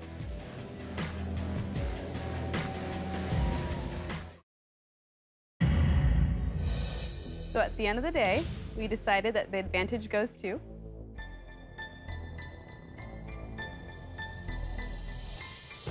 Chef Frank. Thank you. Man is redeemed. I won a round. As always, the third and final challenge will be a trio challenge that will be tasted blindly by our master level chef. Chef Frank, not only is this upcoming round the winner takes all round, but now you'll enter into it with control of the menu board. but before we get to all that, I'd like to present our master level chef judge to introduce round three. In 2001, she opened her modern chop house, Jar, and has won numerous awards for her classic American food. Please welcome Chef Suzanne Tracht. Suzanne Tracht, she's an amazing chef. I have so much respect for women of her generation that came up in this business. They had to fight a lot harder than us guys. Sometimes the test for a great chef, it's not what you cook, but it's how you cook it. So today, chefs, we are doing a technique trio. I'd like you to cook a single dish using three different techniques. For most of us executive chefs, dynamic range is not a problem. But for a child, it certainly could be a problem. When I see a beautiful ingredient, I right away want to cook it three ways.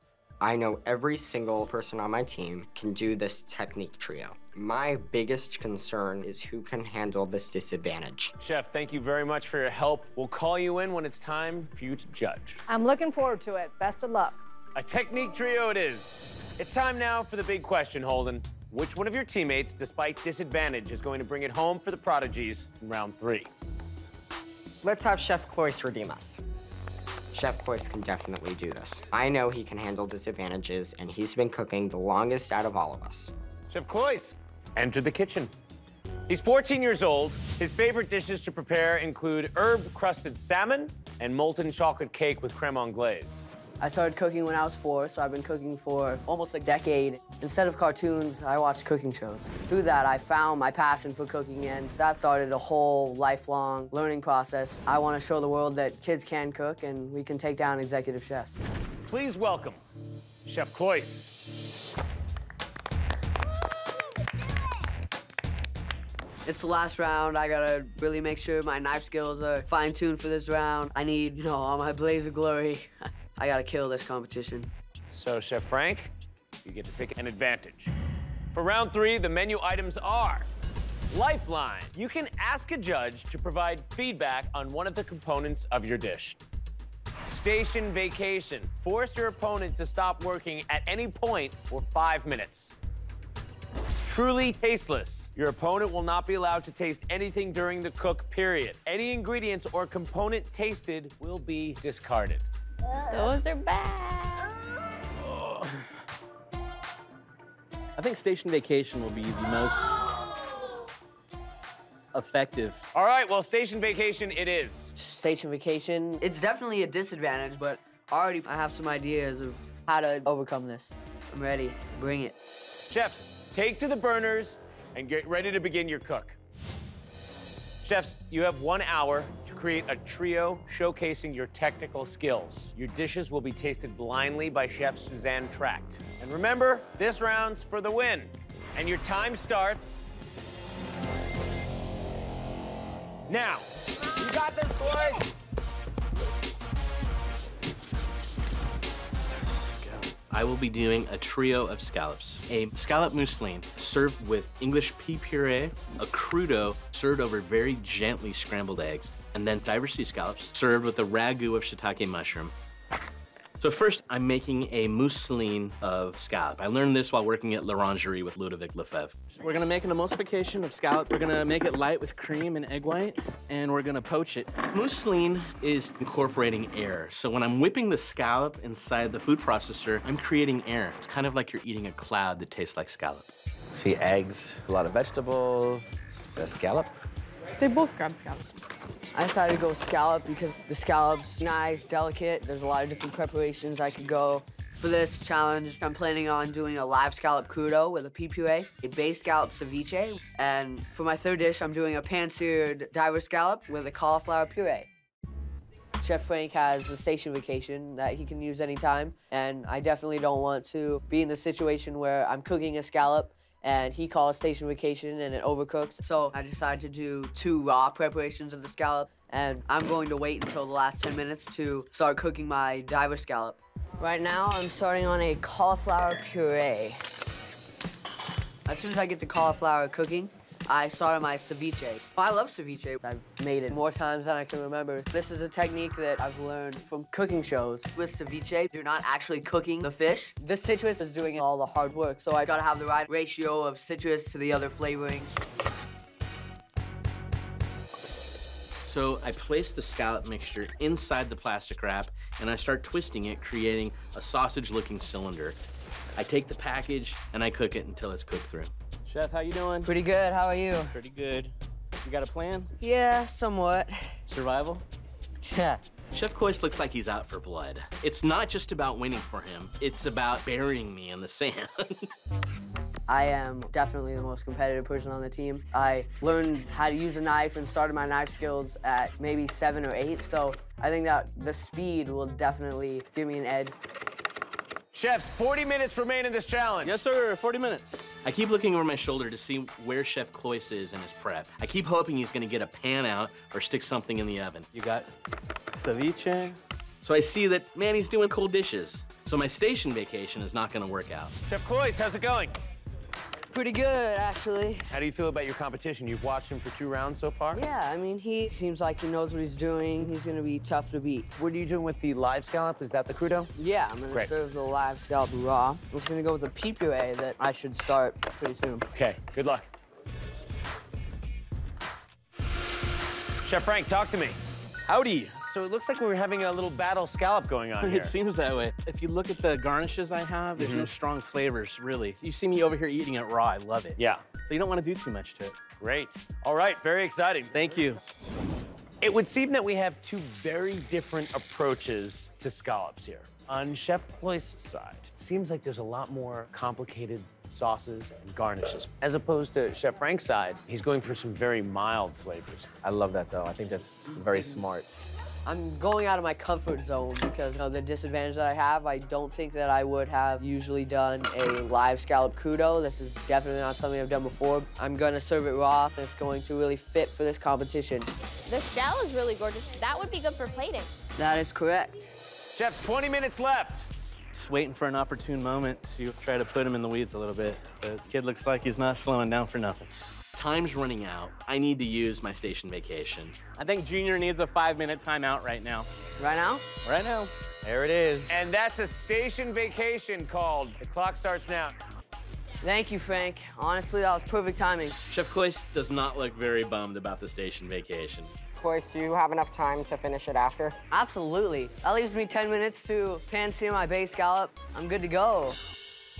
So the mousseline is ready to cook. My goal is really that the scallop mousse will taste like scallop. The only thing I've done is reorganized its properties and turned it into something light and airy. I'm just sitting there watching all my stuff. I'm trying to make the best use of my time that I can.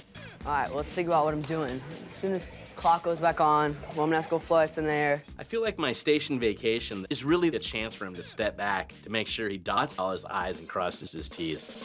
I'm good to go. All right, Cloyce, your station vacation is now over. Back to work. For my second dish, I'm searing some diver sea scallops very gently. These scallops are so beautiful and fresh that it's a complete crime to cook them. But this is a trio challenge, and I need to do a different cooking method. For the third dish of my trio, I have a crudo, a raw sliced scallop served over very gently scrambled eggs. So to make these eggs perfect, I need to get them started, take the chill off them, and then back them off. I will finish them when I'm ready to plate up. Chefs, you have five minutes. Cloyce, he hasn't even started cooking his scallops. Takes two minutes, guys. Everything's gonna be okay. It's coming down to the wire. He still has to cook a scallop, and there's only four minutes left. This is cutting it so close. Boys, three and a half minutes. Three and a half minutes. I'm gonna start cooking it now. It's just about time. This is gonna cook in two minutes. I'll have plenty of time. Leave it alone. Let that get nice and caramelized. The eggs come off the stove perfect. Scallops sit right on top. It's dressed with some osetra caviar. It's a winner winner chicken dinner. Two minutes, chefs. Two minutes. Well, it's coming down to the wire. And the scallop is still in the pan. Perfect. Oh, beautiful. He's gonna baste it with a minute and 20 seconds left to go. There's no fat inside a fish. So if you baste it with a little butter, you're incorporating some of that fat and you're helping cooking it evenly throughout. You know, he may get it fully cooked when he's basting it like that.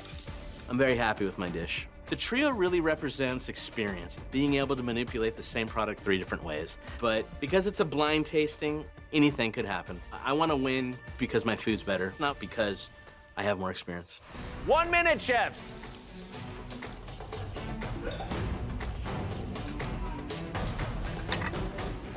Twenty-seven seconds. Oh my God.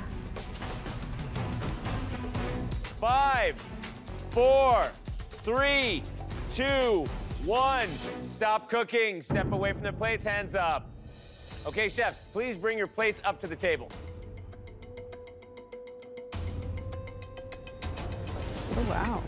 Chef Cloyce, what did you prepare for Chef Tracht? Today I prepared a live scallop crudo with a pea puree and lemon zest. In the middle you have a bay scallop ceviche, and on your right you have a pan-seared diver scallop with a cauliflower puree, salsa verde, and romanesco florets.